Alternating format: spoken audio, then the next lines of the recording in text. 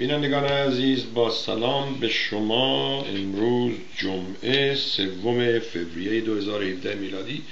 برابر است با 15 بهمن ماه 1395 می‌دونید که از دوازده بهمن تا 22 بهمن رو در ایران بهش میگن دهه فجر. بعضیا که از انقلاب ناراحتن و میگن آشوب بوده میگن دهه زجر.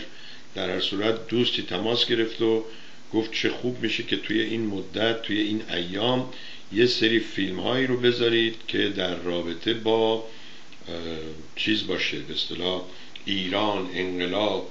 و گفتیم که خب شما ارسال کن هم هزینه رو هم لینک و ایشون هم این کار رو کرده ما هم از امروز براتون پخش می‌کنیم.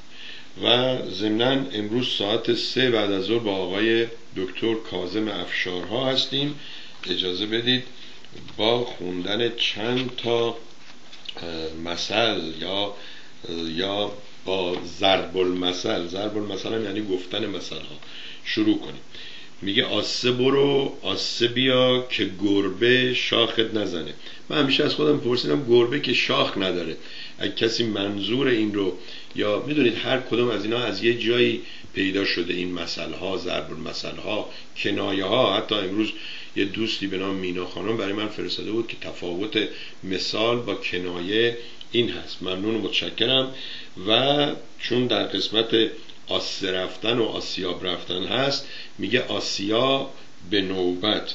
من یادمه ما یک فامیلی داشتیم خانواده شوهر امم اصلا آسیاب شیخ در شیراز اون آسیاب سه سنگی چی می‌گفتن؟ یه چیز اینجوری می‌گفتن. حالا یادم رفت. آسیاب سنگی و اینها. اینها تا همون اواخر هم که با آب اون سنگ میچرخید و آرد می‌کرد و اینها افرادی میومدن به اصطلاح کیسه های بزرگ یا گونی های بزرگ رو میذاشتن گندم یا برنج یا هر چیزی که می‌خواستن یا حتی فلفل خشک و این چیزها اینها به اصطلاح براشون آسیاب می‌کردن. این آسیاب به نوبت قشنگ می‌دونستن به ترتیب میذاشتن جلو نمی‌زدن. مثل صفای ایرانی اینجوری نیست که اولش هشت نفر باشن اون آخر یه غریبه وایساده باشه. قشنگ اینجا بهش میگن single file یعنی یه صف یک نفره. وایمیسن و الی آخر. آسیا به نوبت آش خودت را هم بزن. فکر کنم یعنی فضولی تو کار دیگران نکن. درست همین کاری که ما می‌کنیم. آش خودمون را هم نمی‌زنیم دخالت تو کار دیگران می‌کنیم. آش دهنسوزی نیست. حالا من نمی‌دونم دهنسوز بودن چه لذتی داره که وقتی یه چیزی مورد علاقه نبود بهش می‌گفتن آش دهنسوزی نیست. و اما این خیلی خوبه. آشپز که دو, تا شد آش یا شور می شود یا بینمک این واقعا درست میگن و من همیشه می‌گفتم چجوری این هواپیما یا این کشتی و اینها با وجودی که مثلا دو تا خلبان یا خلبان و کمک خلبان داره یا اون یکی ناخدا داره و کمک ناخدا چجوری اینها دعواشو نمیشه این فرمون بگیره این ور اون بگیره اون ور. بعد بیشتر که وارد شدم دیدم که اینا همیشه همیشه باید یکیشون به اصطلاح مقامش بالاتر باشه. یکیش تعداد پروازش بالاتر باشه. تعداد ساعتهایی که کشتی رونده یا کشتی رو هدایت کرده بالاتر باشه تا این بتونه به اصطلاح فرمانده اون یکی باشه. و اما ایران آن نوتیس گفتم اگه کسی معنی این رو می‌دونه لطف کنه به ما هم بگه چون می‌دونید من خیلی خوشحالم این آقای ترامپ اومده چون یه مقداری از خودم شاکی بودم. که من سی و دو سال از ایران بیرونم سی سال تو آمریکا هستم هنوز انگلیسی رو که می‌خوایم حرف بزنیم هی باید تو مغزمون فارسی از وقتا آلمانی اینها جابجا کنیم تا کلمه انگلیسی رو پیدا کنیم. بعضی وقتا میگیم آقا ولش کن حالا فردا در این مورد صحبت می‌کنیم. وقتی که ترامپ اومد یه کمی به خودم دارم دلگرمی میدم. میگم آقا خیلی ناراحت نباش این آقا هفتاد سالشه. اینجا دنیا اومده. اینجا مدرسه رفته اینجا دبیرستان رفته با پول باباش دانشگاه رفته و اینها. و این همه سال داره بیزینس می‌کنه. انگلیسی انگلیسیش غلطه. و اونایی هم که دور برشن مثل خودشن. خانمه میاد میگه alternative fact یعنی جایگزین فکت دیگه حقیقت که جایگزین نداره. یا حقیقت یا دروغه. و اینا دروغ میگن میگه این جایگزین حقیقت. و ماجرای خیلی چیزا میاد میگه که سفر رو ممنوع می‌کنیم بند می‌کنیم ویزا رو بند می‌کنیم برای رفیوجی ها برای پناهنده ها بعد میگه منظور ما این نبوده منظورمون این بوده محدود کنیم. خب این نشون میده که فرهنگ لغاتش کمه. نمی‌تونه اونجایی که می‌خواد ازش استفاده کنه گیر میفته این اشکال آقای جورج بوش اینجا میگن جورج بوش پسر جورج بوش پدر بعضی ها میگن جورج بوش junior و senior. جورج بوش پدر اونی بود که نخست وزیر یا معاون ریگان هم بود سالهای 80 تا 88 و اینها. بعد 88 خودش آمد که اونم چون آدم ببری نبود و این کلینتون هم جوان بود و وکیل بود و وارد بود اومد زد توی ریپش رو انداختش کنار و اون آمد. اون پدر بود. و اما جورج بوش پسر که همون سال ماجرای 2000 و اون اشتباهی که توی انتخابات شده اینها و درست همین بلایی که الان ترامپ سر هلری کلینتون آورده از لحاظ تعداد سه میلیون کم رأی آورده ولی از لحاظ اون مسخره بازی بهش میگن کالج نمی‌دونم الکترال کالجی هم چیزی قبول شده. و حالا خودش هم با خودش مسئله. خلاصه اون موقع جورج بوش شد رئیس جمهور برای هشت سال دلیل ادامه هشت سالش هم این بود که حقیقتا ایشون رئیس جمهور نبود. دیک چینی و اون کارروف و اینها اون پشت میچرخوندن و این رو مثل این عروسکای هست که با بند اینجوری اینجوری می‌کنن بازیش دادن. و مهمتر این بود که چندین جنگ راه انداختن. معمولا در زمانی که جنگ باشه رئیس جمهورها میمونن. حتی می‌دونیم که توی تاریخ آمریکا یه رئیس جمهور بوده که سه بار رئیس جمهور شده الان اسمش یادم نیست. و اون به خاطر این بوده که توی آمریکا جنگ بوده. و و اما میاد راجع به ویزا صحبت می‌کنه همه رو میریزه به هم. بعد خودشون نمی‌دونن چیکار کنن. همه امروز نوشته بود نمی‌دونم نخست وزیر یک کشوری به دلیلی که رفته بوده ایران حالا که اومده آمریکا خب تو فرم یا تو پاسپورتش که میده کامپیوتر نشون میده که این ایران بوده. این رو هم بازداشت کردن براتون می‌خونم. یکی از دوستان گفت آقای خیلی بد قولی می‌کنی. اولی که میای هی میگی اینو می‌خونن اینو میگن این کارو می‌کنن بعد وقتی صحبت می‌کنی یادت میره. خب این کار به بدقولی نداره این کار به فراموشکاری داره. در صورت سعی چشم چشم سعی می‌کنم تلاش می‌کنم که بدقولی نکنم. خب یکی از دوستان ما دیروز برای ما تلگرام فرستاده بود که آقا حسین آقا دوستان دیگه یکی گفتید آقا تلگرام بیا باز کن ما برای دوستان اون پخش می‌کنیم میلیون ها نفر میان. حالا ما که همون روز اول گفتیم خب حالا میلیون ها نفر میان چی میشه؟ مثلا یه آقای اومده پیله کرده میگه آقا شما خود آقای سوربی هستی؟ میگم بله. میگه نه شما نیستی. میگم خب نیستم. میگه نه اگه هستی بگو هستم. میگم آقا تکلیفت معلوم کن. ما که میگیم هستیم تو میگی نیستی. ما میگیم نیستیم تو میگی هستی. بابا هستم. بلا خدا نمی‌دونم. بعد این آدم های معروف معمولا خودشون نمیاد گفتم اولا من معروف نیستم. دو من بارها گفتم اگر روزی برسم به جایی که نتونم جواب ایمیل ها رو مستقیما بدم روی فیسبوک با دوستان مستقیما جواب بدم. روی تلگرام مستقیما جواب ندم. اگر استخدام کردیم یک آقای جوانی یک بانوی جوانی یک خانم مسنی یه نفر بالاخره که کارای چیز رو انجام بده دفتر و اینها میگیم که شما بنویس برای اینها که مثلا سوربی به دلیل مشغولیات و کار و اینها ایمیل شما رو بعدا می‌گیره اگه لازم بود بهتون پاسخ میده که طرف بدون این ایمیل فعلا دست سوربی نرسیده. اینم از این و فکر کنم این کار درستیه. و الا اینکه من یادم میاد یه تلویزیون بیچاره بدبختی که از این مجاهدین پول گرفته بود توی انگلستان هست. و وقتی که من اونو دیدم ویدیویی رو که دیدم که این آقا شکر خورده بود اسم مردم تیوی رو آورده بود. تماس گرفتم و به اون کسی که گوشی رو برداشت گفتم من می‌خوام با اتفاقا فامیل طرفم مثل فامیل خود من که سربیه اون سرابیه هم چیزی گفتم می‌خوام با اون صحبت کنم. گفت خب بفرما. وقتی که همه چیز رو گفتم بعد طرف گفت من اون نیستم. گفتم خب مرض داری؟ میگی بفرما. بگو من نیستم تو بهش بگم بهش پیام بده و با ما تماس بگیر. در صورت دوستان امروز 15 روز از دو هفته از سوگند یاد کردن ترامپ. گذشته شما ببینید این مرد دیوانه که حتی دوستان نزدیکش هاوارد سترن یه آدم بسیار معروف و موفقیه. موفقیتش از اینه که با هیچ که تعارف نداره. ببخشید با خانمش با مادرش با پدرش با هیچ کسی تعارف نداره. همه چیز رو رک گفته خیلی هم اصلا نمی‌تونن تحملش کنن. خود منم اولا اینجوری بودم ولی بعد یکی از شنونده های برنامه شدم چون دیدم بابا این یه حقیقتی رو میگه که ما خبر نداریم. این آقا با ترامپ دوسته. چرا دوسته؟ چون تو برنامه رادیویش های زنای لخت میاره صحبت می‌کنه و اینها. ترامپ هم که تو کار خانم آوردن و خانم بردن و خانم استفاده کردن و اینها بوده و با هم دوستن.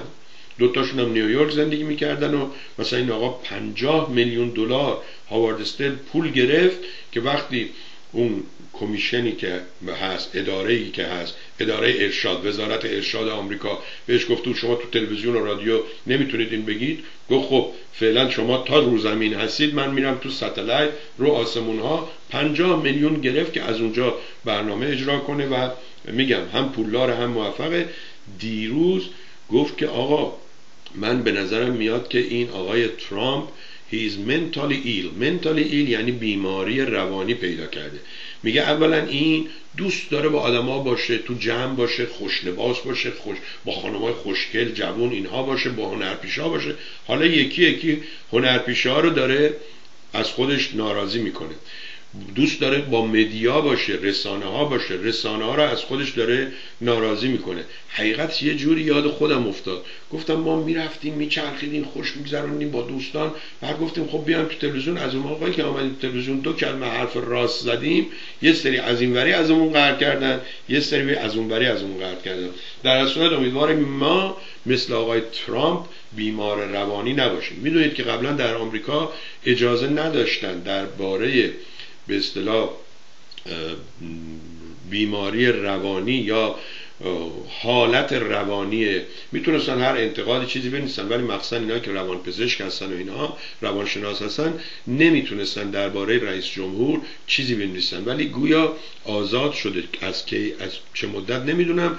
و در این رابطه برید بنویس بخونید روی گوگل ببینید چقدر آدمای مختلف آدمای استخوندار که اینا حالا آدم استخوندار یعنی چی؟ یا آدمی که سرش به تنش میارزه یعنی چی؟ اینا همشون متفقن و متحدن باور دارن که آقای ترامپ از یک خودشیفتگی بدخیم به اصطلاح رنج می‌بره و این رنج بردنش رو در توییتی که میفرسته و اینها می‌بینید. پریروز با صدر اعظم استرالیا استرالیا رئیس جمهور نداره هم صدر اعظم داره اونجا ملکه هست. ای خدا بگم این خانم ملکه رو چیکار کنه؟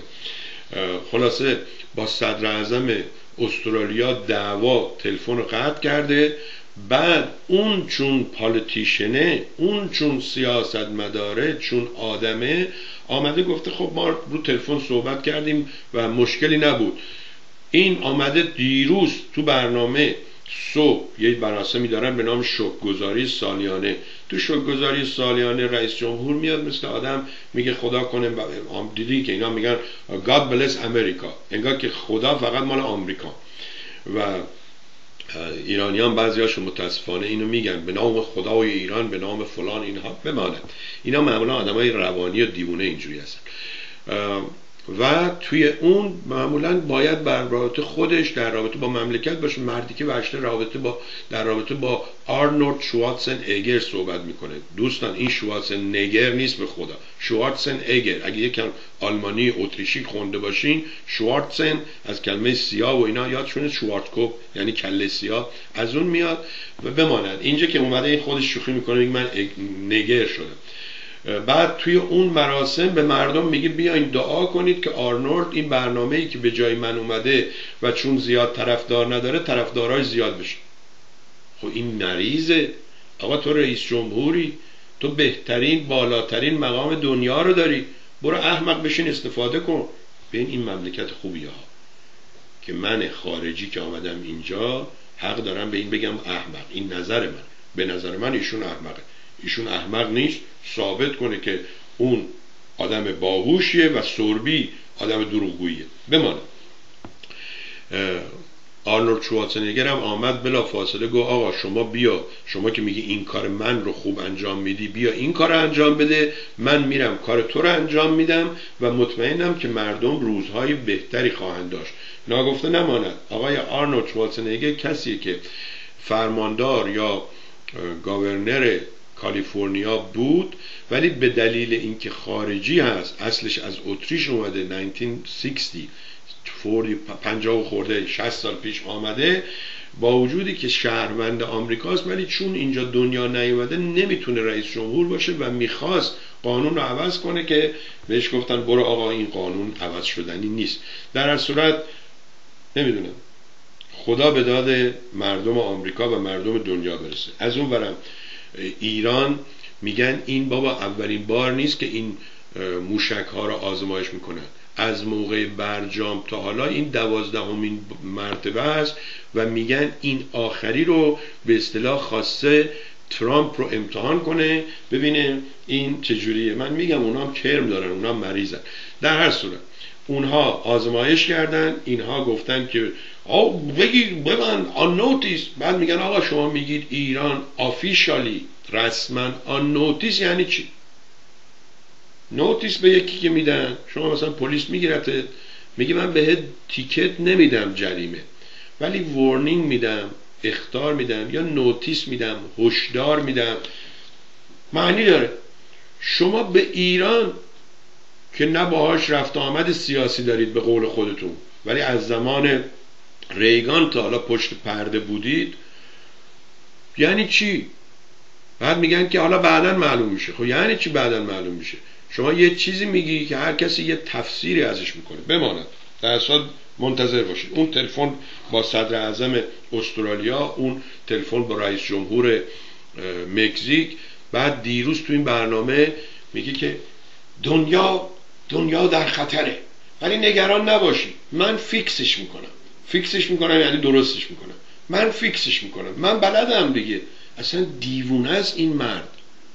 دیوونه است. شما ببینید همه مردم دنیا زحمت می‌کشن در جوانی در میان سالی که بعد این golden year بهش میگن. در این سالهای طلایی زندگی راحتی داشته باشن با زنشون باشن با بچهشون باشن با نوه هاشون باشن برن برن یه جایی راحت زندگی کنن کتابی بخونن موزیک گوش بدن. این مردک آمده خودش انداخته رو دردسر. اون زنه دیگه چه زن سو استفاده چیه؟ فوری گفت خب حالا شما برو من برات نامه می‌نویسم. من همین نیویورک میمونم. اون وایساده اونجا و هی دخترش رو برمیداره می‌بره این ور.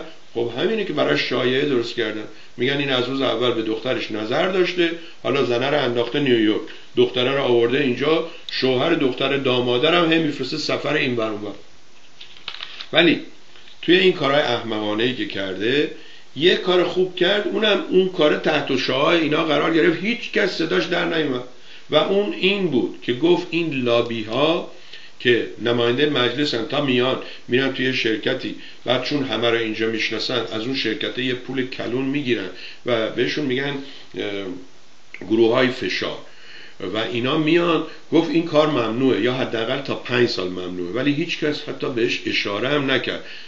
چیزای ایرانی هم که قربونشون برن. اونا هیچی اصلا. و ماجرای بله آقای حسن ارشاد 116 همین برنامه خودشون رو دارن. آقای چمنارا یادته وقتی آمدی گفتم به حرفای این آقای دکتر نصر احمدی خیلی دل خوش نکن. شما گفتی حالا ما تا, تا 2020 میریم برنامه می‌ذاریم. سه برنامه گذاشت. گفت چرا آقای سربی از آقای مصطفی زاده نامه من نامه که اون نوشته خوندم. دیگران همینجوری. حالا نمی‌خوام اسم ببرم که بعدا چون آقای مصطفی زاده یه در وقتی عصبانی میشه واخ خدا نصیبت نکنه. فوش خار مادر میده. در هر آقای مصطفی زاده همینجور. آقای یزدان خداوندلو همینجور. ولی ببینید این آقای حسن ارشاد 116 برنامه قدم به قدم داره پیش میاد. امروز سیزدهمین سند رو به شما نشون میده و خیلی جالبه. میگه برای من مهم نیست که دوستان باهایی بخوان قدرت یا حکومت ایران که هیچی قدرت و حکومت دنیا رو در دست بگیرن. میگه فقط برای من مهم اینه که اینها دروغ میگن و راست میگه دروغشون به من ثابت شده. هر دوست باهایی می‌خواد بیاد در برنامه من تا من بگم چرا اینا دروغ میگن. چون آقای حسن فیروزی که دروغ نمیگه آمد گفت که بله آقای حسن ارشاد درست میگه. ماها دنبال حکومت جهانی هستیم. حالا چرا دوستان بهایی دیگه دروغ میگن؟ حتی به خودی ها حتی به احبا میگیم دیگه نه؟ حتی به احبا اینو باید احبا ازشون بپرسن. اگه آقای رجوی به اعضا دروغ میگه ما نباید بپرسیم. اعضا باید ازش بپرسن که البته اینا هم یه سیستمی درست می‌کنن یه سیستم نفوذی و قدرتمند و اون اقتداری که دارن نمی‌ذارن هیچ که ازشون سوال کنه. خب اجازه بدید از آقای مهدی زلفقاری دوست قدیمی تشکر کنم که یه نشریه الکترونی رو هم الکترونیکی رو هم به عنوان اخبار روزانه ارسال می‌کنن و ما هم هر وقت که وقت کنیم برای شما می‌خونیم و به اصطلاح پخش می‌کنیم. و اما ترامپ is mentally ill اینو براتون گفتم. ایران آن نوتیس یعنی چی؟ ساعت سه بعد از ظهر آقای دکتر کازم افشارها با ما هستن. گفتم بریم سراغ این چیزهایی که براتون گذاشتم. بلکه بتونیم اینها رو یک کمی سبک کنیم. و اما دیروز یک مصاحبه داشتم با خانم باربارا اسلاوین. ایشون از اتلانتیک کانسل هستن و شغلشون هم هست دیرکتور of Future of ایران اینیشیتیو یه هم چیزی درست من نمی‌تونم تلفظ کنم. در صورت 6 سال هست که توی این مقام کار می‌کنن سعی می‌کنن که به آمریکایی ها نشون بدن که دولت آمریکا بعضی وقتا که نه همیشه در رابطه با ایران و ایرانی دروغ میگه. دوستان بچه پسر پنج ساله رو تو این فرودگاه گرفتن. بعد آقای آرمن ساگینیان میگه خب رئیس میشه سالار مردم میشه جمهور میشه مردم. من آقای ر... ترامپ میگم مردم سالار. گفتم احمد اینجا خودشون میگن ما خدمتکار مردمی. رئیس جمهور یعنی توی این دفتره رئیس انتخاب کردن نه که این رئیس مردمه که بزنه تو سرشون. اون مردم سالاری که تو می‌نویسی آخه مردم سالار هم دو تا معنی میده. مردم سالار یعنی مردم تصمیم می‌گیرن حکومت چی کار کنه نمی‌دونم دولت چه کار کنه اینه.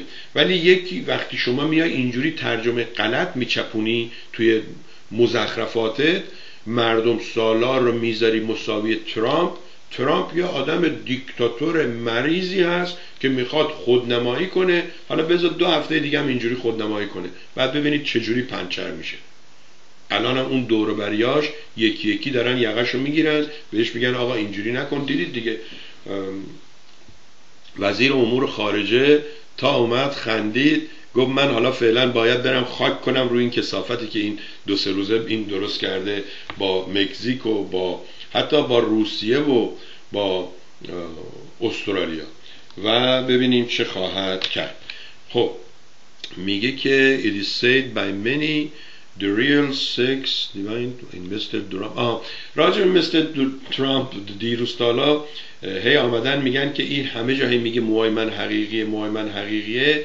درسته حقیقیه ولی از اینجاش می‌کشه میاره اینجوری میچرخونه. من از همین باد که میره اینجوری میشه و اینها. ولی دلیل اینم که این انقدر باز مو داره اینه که ایشون مریضی قده پروستات داشته. قده پروستات گویا برای که جداش نکنن به اصطلاح از بدن. ولی تحت کنترل باشه کوچیکش کنن که ادرار کردنش آسون باشه.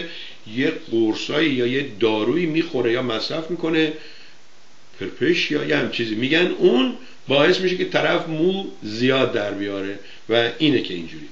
و اما آقای پرویز مینویی بعد از چند هفته برای من یکی از مقاله هاشون رو فرستادن که می‌خونم سوال کرده که چرا آقای فردریش بعضی میگن فردریش بعضی میگن فردریک چون این می‌دونید انگلیسی و آلمانی و اینها یه وقتی اسما رو می‌نویسی ادا خوندنش فرق می‌کنه. اون میگه سارا اون میگه سرا اون میگه دیروز یه خانمی پریروز به من زنگ زده بود برای یک کار ویدیویی بعد گفت اسم من الایزا هست. گفتم how do you spell it گو E L I Z A گفتم خب این مثل همون الیزابت. گو ها همون الیزابته ولی من دوست دارم اینجوری تلفظش کنیم گفتیم بابا الایزا بمانه. این فردریک نیچه که همه ایرانی ها این کتابش خوب می‌شناسن که چنین گفت زردشت به یکیش بگو آقا چند صفحش خوندی؟ مثل خود من میگم آقا نخوندم. فقط آقای مجد می‌گفت چنین گفت زردشت در نیچه, نیچه در کتاب اینجوری منم یاد گرفتم. بمانه. توی کتابش یه جایی میگه مرگ خدا. بعد حالا آقای پرویز مینویی سوال کرده میگه چرا این کتابه به جای اینکه مثلا اسمش مرگ خدا باشه مردن خدا باشه گذاشته اسمش رو چنین گفت زرتشت. اگه کسی می‌دونه یا اگه کسی می‌خواد اون مقاله رو بفرسته من براش میفرستم. ولی من برای آقای پرویز مینویی یه نوشته ای رو پیدا کردم که اصلا این صفحه صفحه فارسی برای فردریش نیچه. نوشته مفهوم مرگ خدا در فلسفه فردریش نیچه.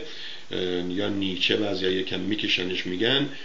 اینجاست اینجوری نوشته. یکمشو بخونیم تا اونجایی که خیلی طولانی نشه. چون من بارها گفتم امروز یه دوستی برای من فرستاده بود آقا این رئیس حزب وطن اینو گفته بخون. گفتم آقا این خیلی طولانیه. من مقاله طولانی رو نمی‌خونم.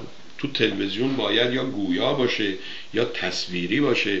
و از ایشون پرسیدم خودت خوندی؟ خودت عضو هستی؟ این حزب وطن چند تا عضو داره؟ اساسنامش چیه؟ حالا اساسنامش رو یک کسی قبول کرد. برنامهش برای فردا چیه؟ ما همین صحبت کردیم از پرسیدیم از آقای جالب اینه که خودشون هم میگن شما بیا بپرس که برنامه ما یک نواخت نباشه. بعد که میگم آقا خب برنامهتون چیه؟ شما اینو فرستادی. من که دلیل آوردم می‌خوام مستقل باشم نمی‌خوام عضو باشم. یه نفر دیگه ای که الان نگاه کرد می‌خواد مایل عضو باشه کجا باید ثبت نام کنه؟ امروز که ثبت نام کرد کجا باید بره؟ آقا من اینو با آقای حسن ماسالی هم میگم. آقای حسن ماسالی ازش سوال کنید آقا شما تو چند تا حزب سازمان نشست میتینگ میزگرد شرکت کردین. تو تمام اینها هم در آخرش قطنامه صادر شده. گروه فلان کمیته فلان کمیته کمیته جذب جوانان کمیته دفع پیران. بیان حالا صورت بدید ببینم بعد از هفت سال هشت سال که با آقای نوری علا آمده اینجا و به اون آقای حسین رضا حسین برو اینها آمدید. کدوم جوانی رو جذب کردید؟ آقای دکتر ماسالی. ناراحت نمیشه. برنامهتون آقا چیه؟ اساسنامهتون چیه؟ یه نفر. ببینید شما این تورای نوروزی الان چپ و راست برای من میاد. حتی تلویزیون تایم از کالیفرنیا اینا رو مثل میفروشن یا میفروشن ایران نمی‌دونم. میگه هفت روز می‌خوایم بریم ایران صبح فلان هتلیم شب فلان هتلیم زور این نهار رو می‌خوریم از این موسیقی رو میریم. این برنامهشونه میفروشن به مردم. صرفا به این دلیل که افتخار کنیم بگیم آقا من پول نمی‌خوام من پول نمی‌خوام. خب این که نشد. ای کاش که پول می‌خواستید ولی اون چیزی رو که برای فروش دارید می‌تونستید بفروشید. یعنی همین که میگید من پول نمی‌خوام یعنی چیزی برای قابل فروش ندارید مثل اون تلویزیونی که میگه ما که پول نمی‌خوام برای که می‌دونه کسی نمیره اونجا پول بده. البته بعد بدبختا وقتی میرن اسیر میشن اون موقع امروز زنم مریض بود فردا نمی‌دونم تلویزیون برقش میره و اینها ننه من غریبم ازشون پول بیشتری هم می‌گیرن. در هر صورت. دوستان اگر می‌خواین برنامه را بندازید اگر می‌خواین جنبشی را بندازید اول که نوشتید فکر کردید با دوستانتون با فامیل خودتون بهشون بگید. اونایی که هر شما بگن میگن به به اونو بنداز دور نرو سراغش. اونی که ایراد می‌گیره. میگن دوست اونه که به شما میگه. دشمن اونه که میگه می‌خواستم بهت بگم. چهار تا دوست پیدا کنید. وقتی اونا گفتن با برنامه ها بیان. برنامه بذارید. امروز برید این برنامه ای که خانم پوران اکبری از شیراز به شوخی گفتم که والا این میگن هنر نزد ایرانیان هست و بس. باید عوضش کنم. بگم هنر نزد شیرازی ها هست و بس. این خانم ببینید دو ساعت برنامه یک ساعت و پنجاه دقیقه برنامه رو یا دو تا پنجاه دقیقه صد دقیقه برنامه رو برای چی تحقیق کرده نوشته؟ الان قولتون میدم اونجا یه نوشته گذاشته جلوش که به اصطلاح بتونه با مراجعه به این یا نگاه کردن به این سرتیترها بتونه بگه البته ایشون چون قرار بود در, در رابطه با تاریخچه مجاهدین بگه چرخش ایدولوژی بگه انقلاب ایدولوژیک بگه ویژه های فرقه رجبی بگه و اینها اینا رو قشنگ گفت آدم لذت می‌بره. ولی میان نه حالا من میام حالا چون پول دادم حالا فعلا مزخرف میگم بعدا می‌خوام حسلی بگم. آقا قوه مردم شما رو به عنوان یه مزخرف گو می‌شناسن. بعد عزیز دلم دیگه توی تلویزیون بیش از یک مزخرف گو زیادیش میشه. خب آقای دکتر ایران بومی عزیز آقای ایران بومی خیلی خوشحالم که با ما هستید. امیدوارم بیشتر شما رو داشته باشیم. دوستان یادم رفت که من امروز برنامه زنده خودم رو روی تلویزیون مردم هم بذارم. همین الان این کار رو می‌کنم و اینجا شعر میگه با کی؟ میگیم با پیجی که ما منیجش می‌کنیم مردم تیوی میفسیم اونجا.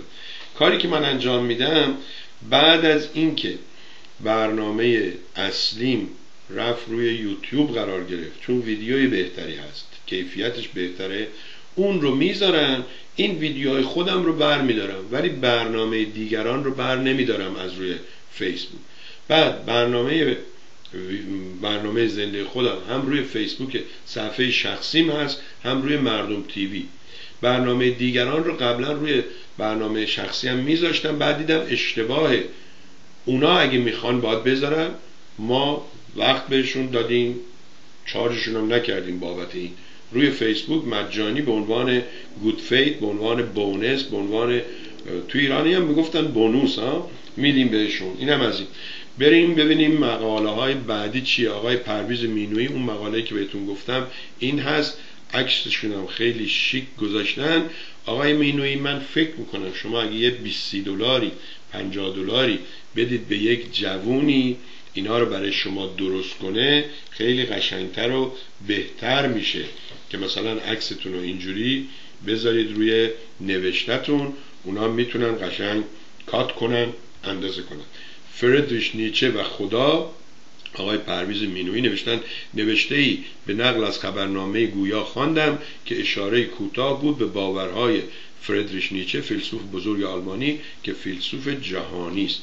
و اندیشمندان جهان کوشیدن با باورهای او آشنا باشند. نتیجه در دو کتاب مرگ نتیجه در دو کتاب مرگ خدا را اعلام می کند که کتاب چنین گفت زرتوش که کتابی است حماسی و شعرگونه که در سال 1884 منتشر شده است و کتاب آنارشیست اگه اشتباه نکنم که در ضدیت با مسیحیت و خلاصه ایشون میگه که من نمی‌دونم چرا نام کتاب رو به اصطلاح گذاشته چنین گفت زرتوش وقتی که در اون باره در اون موارد صحبت کرده. من اون پاسخ رو خوندم و برای ایشون هم لینکش رو فرستادم. شما هم اگر در این مورد پاسخی دارید بفرمایید. دوست خون خانم مینای نازنین نوشته که سلام آقای سوربی پرسیده بودید تفاوت میان تفاوت مثل یا همان کنایه یا ضرب المثل چیست؟ من هم کنجکاو شدم و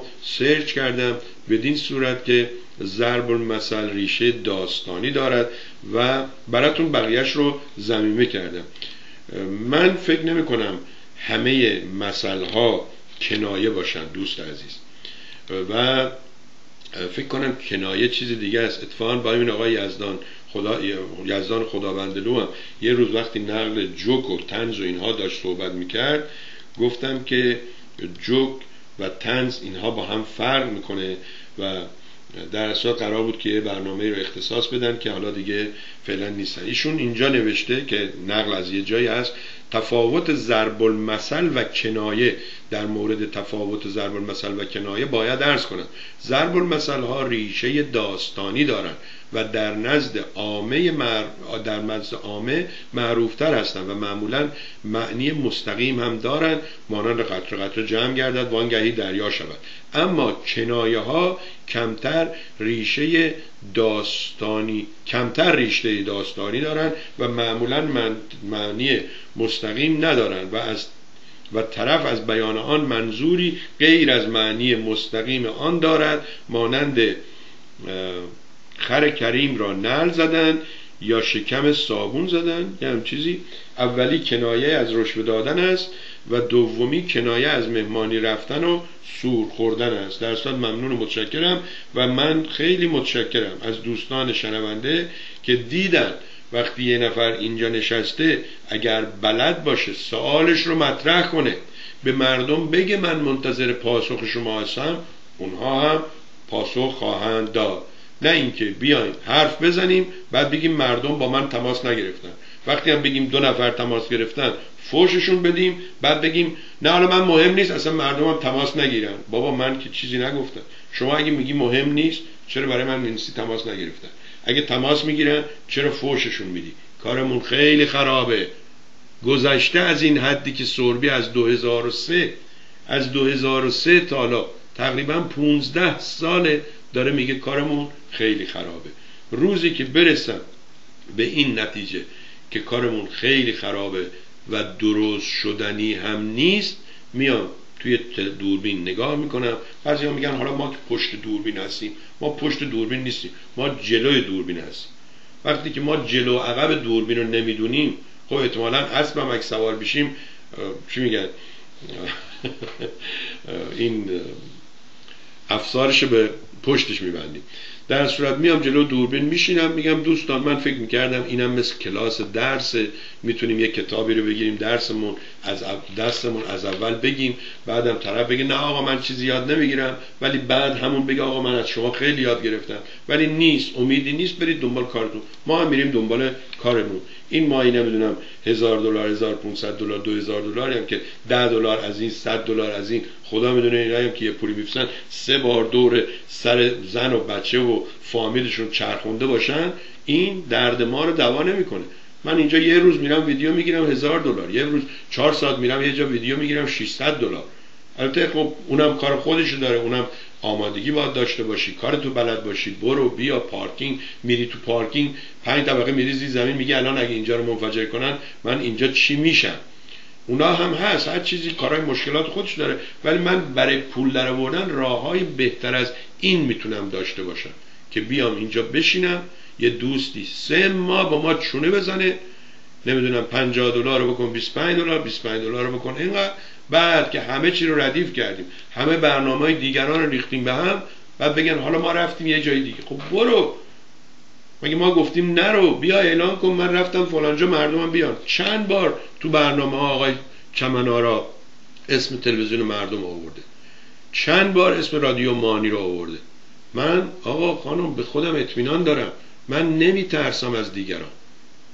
اونا میترسن. اونا میترسن که اسم منو بیارن یا میترسن اسم تلویزیون ما رو بیارن. چون میگه همین دوتا نمی‌دونم بیننده و شنونده چی هم که داریم میره اونجا دیگه بر نمیگرده. اگه نمیترسن زنگ بزنید ببینید چیه. طرف آمده بود ویدیوشو edit کرده بود. برای که مهمان برنامهش این پسر جوان به جایی که بگه میهن TV گفت بود مردم TV. رفته بود نشسته بود یه ساعت edit کرده بود. میترسن. و همین به خود اطمینان نداشتن هر روز واسهشون بد و بد و بدتر میشه. خب امروز هم ما یک هموطن به جان آمده به این آخوند حکومتی گفته ما از همه آخوندا متنفریم مردشون همتون رو ببره. خب ببین دوست عزیز این چیزها رو پخش کردن خوبه. من الان پخش می‌کنم.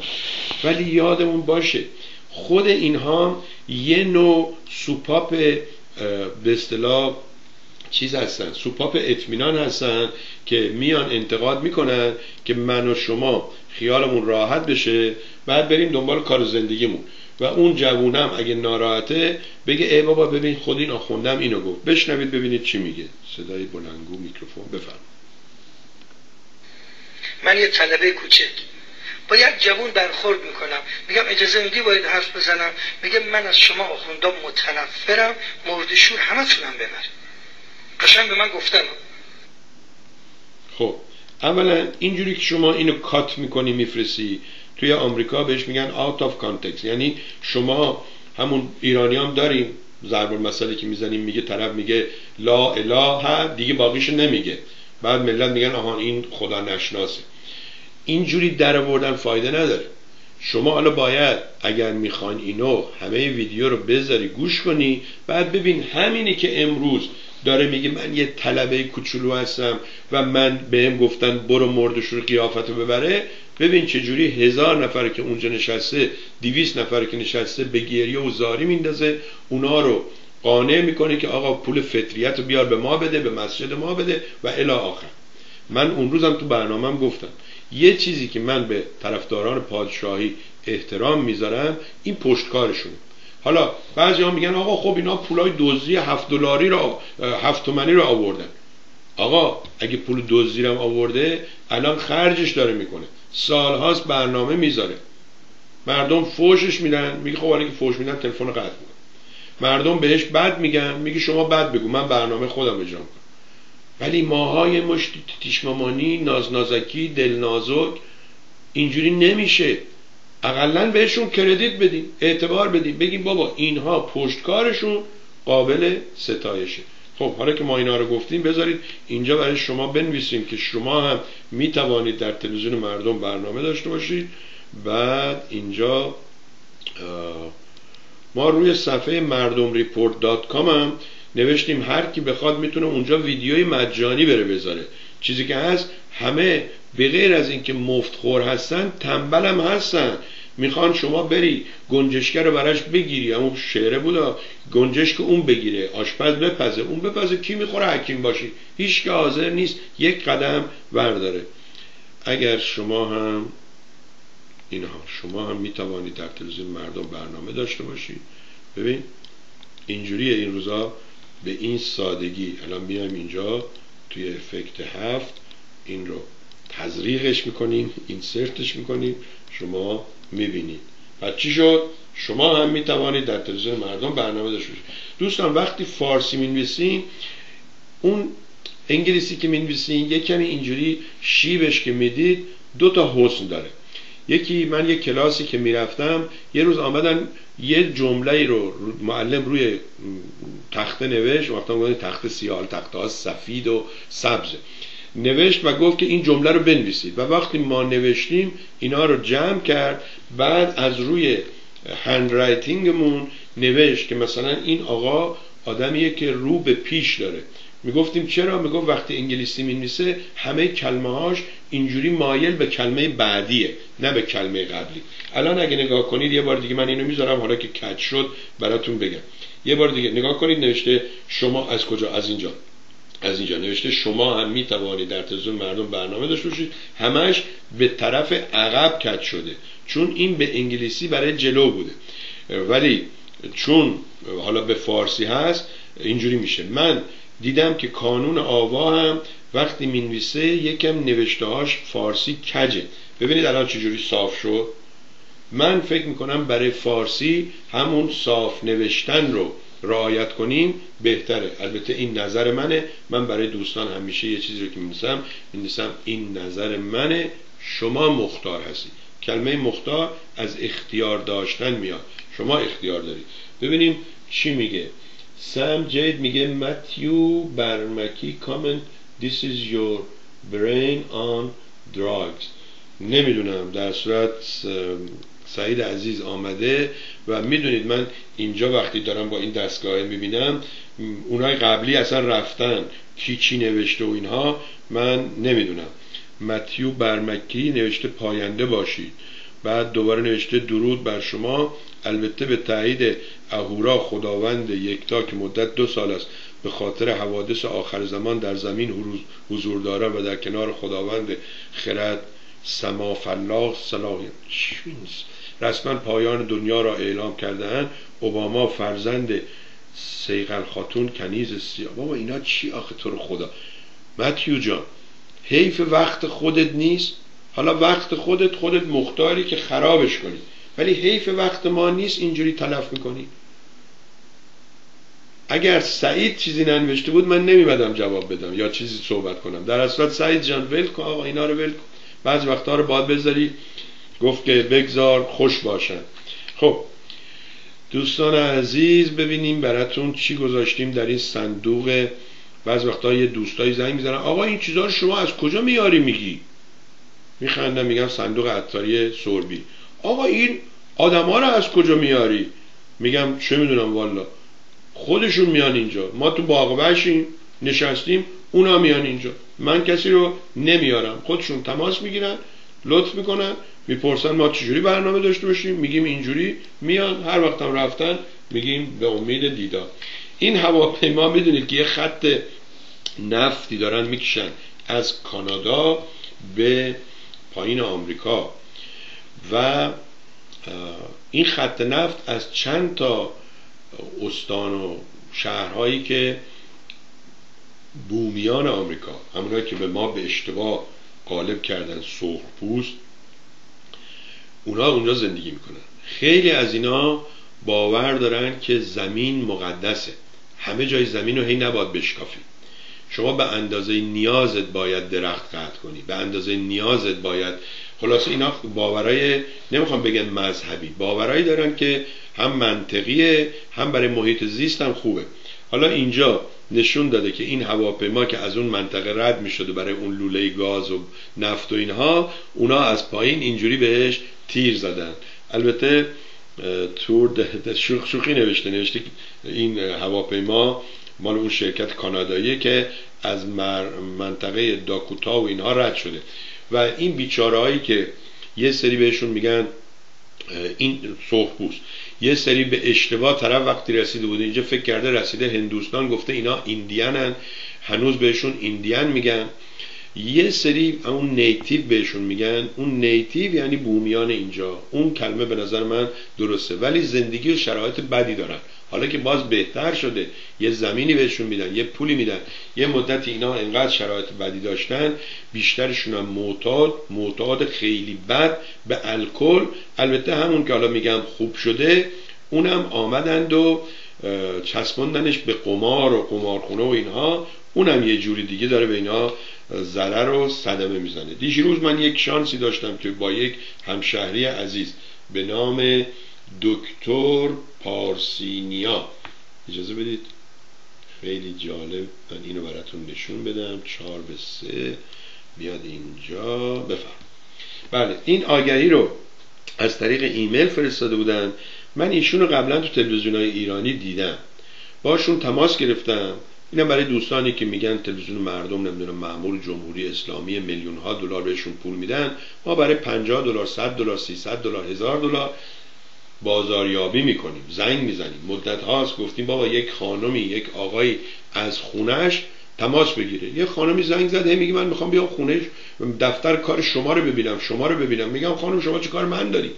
شما می‌خوای از خونت تلفن بزنی. بچت داره گریه می‌کنه الان تلفن نزن. بچت که خوابید برو بعد زنگ بزن به روزنا بماند. اون چی داره میگه؟ ما زنگ زدیم به این دوست عزیز آقای دکتر پارسینیا و گفتیم که شما اینجا نوشتید که براتون بخونم دوست ایشون تبلیغ کرده solar one یا solar power solar power یعنی نیروی خورشید. OK بعد اینجا نوشتن go solar go solar یعنی بریم به طرف انرژی خورشید. نوشته هیچ پولی نمی‌خواد بدید هیچ ماهیانه ای لازم نیست. بعد میگن save environment آها میگن سال اول هیچ پولی نمی‌دید هیچ ماهیانه ای نمی‌دید برای یه سال اول. بعد میگن که وقتی که این دستگاه رو براتون می‌ذاریم up to 90% power bill reduction. میگه تا 90 درصد تا سقف 90 درصد از پول بیل از پول ماهیانه برق یا گاز حتی کم میشه. 25 سالم به شما این کلمه گارانتی ایرانیش همون زمانت میشه. 25 سالم به شما تضمینش می‌کنن که این کار می‌کنه خوب و فلان نه بدون پیش پرداخت بدون قسط در سال اول تا بیش از 90 درصد کاهش هزینه برق call for. estimate estimate شما وقتی هم ماشینت خراب میشه میبریش مکانیک مکانیک نگاش می‌کنه. بعضیا پول می‌گیرن 80 دلار 100 دلار می‌گیرن نگاش می‌کنن. بعد بهت میگن این 600 دلار خرجشه. ولی اگه خواستی اون 100 دلاری که دادی ما ازش کم می‌کنیم وقتی بم. ولی اگه خودت بردی درست کردی خب ما عیب و بهت گفتیم ما که اینجا مجانی مثل سربی کار نمی‌کنیم. هی بهت بگیم این program اون program. بعد بلنشی دوست عزیز جوان بری برای خودت. چه می‌دونم والا جوونمونم بعد در صورت با ایشون تماس گرفتم. گفتم که اگه بخواین مخصوصا چون برای ایام عید این نوشتی تخفیف ویژه نوروزی هزار دلار نقد به شما پرداخت می شود با امضای قرارداد دوستان دیگه از این بهتر چی می‌خوام؟ میگه پیش قسط نمی‌خوام. یک سال قسط نمی‌خوام. هزار دلار هم بهتون میدیم. این دستگاه ها رو ما براتون نصب می‌کنیم. 90 درصد هم پول برقتون کم میشه. تازه از این بهتر برای آدم های بیکار برای که نخوان بیشین برنامه سوربی نگاه کنن یه پولی هم در بیارین می‌تونید تماس بگیرید استخدام بشید. با همین ایمیلشون تماس بگیرید. ای پارسی ای پارسی نیا استخدام سولار وان نوشتن استخدام. سولار وان تعدادی افراد واجد شرایط را در زمینه انرژی خورشیدی آموزش داده و به عنوان مشاور بازرگانی استخدام می کنند اینم از این. اگه خواستید برید سراغش. و شما هم اگر سرویسی دارید خدماتی رو ارائه می‌دید از تلویزیون مردم استفاده کنید. بلا فاصله تا شروع کردید منتظر باشین که است ده نفری مزاحم بهتون زنگ بزنه. ولی یادتون باشه اگه ده تا مزاحم دیده زنگ می‌زنن خب ببینید چند تا غیر مزاحم دیده اونا هم وقتی احتیاج داشته باشن زنگ می‌زنه The whole world is against Mr. Trump. He's, he's left with his beloved, beloved daughter. همین چیزی که ما گفتیم میگه الان تمام دنیا مخالف ترامپ شدن و ایشون هم با دختر محبوب خودش فقط هست. می‌دونید که آمد گفت که America first America first میگن بله شما حتی اگه نفر اولم باشی الان نفر اولی هستی که تنها هستی. حتی اسرائیل که این به اون نون قرض داد. اون از این نون قرض گرفت و آمدن گفتن حالا سه هزار تا settlement جدید می‌سازین خونه های جدید برای آقا طرف داره زندگی می‌کنه تو Russia. اینا میرن میگن بیا اسرائیل. اسرائیل خدا بهت وعده داده موسی هم که با اون مهندسیش که گم شد تو صحرا می‌دونی دیگه جای خوبیه بیا اونجا. وقتی میان اونجا بعد مردی که تلویزیون نشون میده بیان ما 20 دلار بدید به اینا. خب آقا اگه نداری ولش کن. خیلی از اینا اومدن دیدن آقا اونجا شدن گوشت جلوی بمب و نمی‌دونم موشک و اینها. میگن می‌خوایم برگردیم نمیذارنشون. خلاصه ترامپ گویا یه عاقلی تو دست بالش بوده بهش گفته که هی به این نتنیاهو بگو یابو هوش کجا میری؟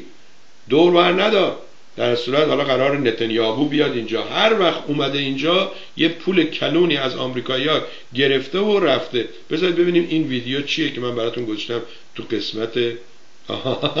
این خیلی جالبه. آقای نبوی این تنز نویس ایرانی که یادمه. من اولین بار موقعی آشنا شدم با تنزهای ایشون که راجع به چیز نوشته بود. راجع به سپتامبر 11 و نوشته بود به این دلایل سپتامبر 11 کار ایرانیان نیست. خیلی هم دلایل قشنگ و درستی آورده بود. نوشته بود ایرانیان نمی‌تونن یه رازی رو نگه دارن به خانماشون نگن به دوستاشون نگن. بعد گفته بود ایرانیا سر وقت نمیان که سوار هواپیما بشن. امروز یا چند روز پیش یه مقاله نوشته شباهت دانالد ترامپ 20 دلیل شباهت دانالد ترامپ به احمدی نژاد. ولی این فیلم خیلی جالبه.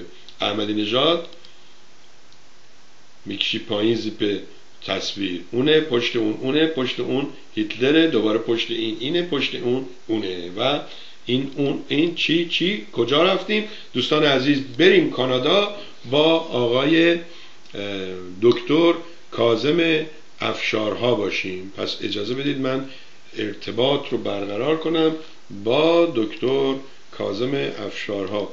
باورتون میشه من سه بار اسم ایشون رو اون لیستی که قبلا فرستاده بودن من پاک کردم باز این اسکایپ اونو می‌نویسه. میگم آقا این که ما هر وقت زنگ می‌زنیم این نیست.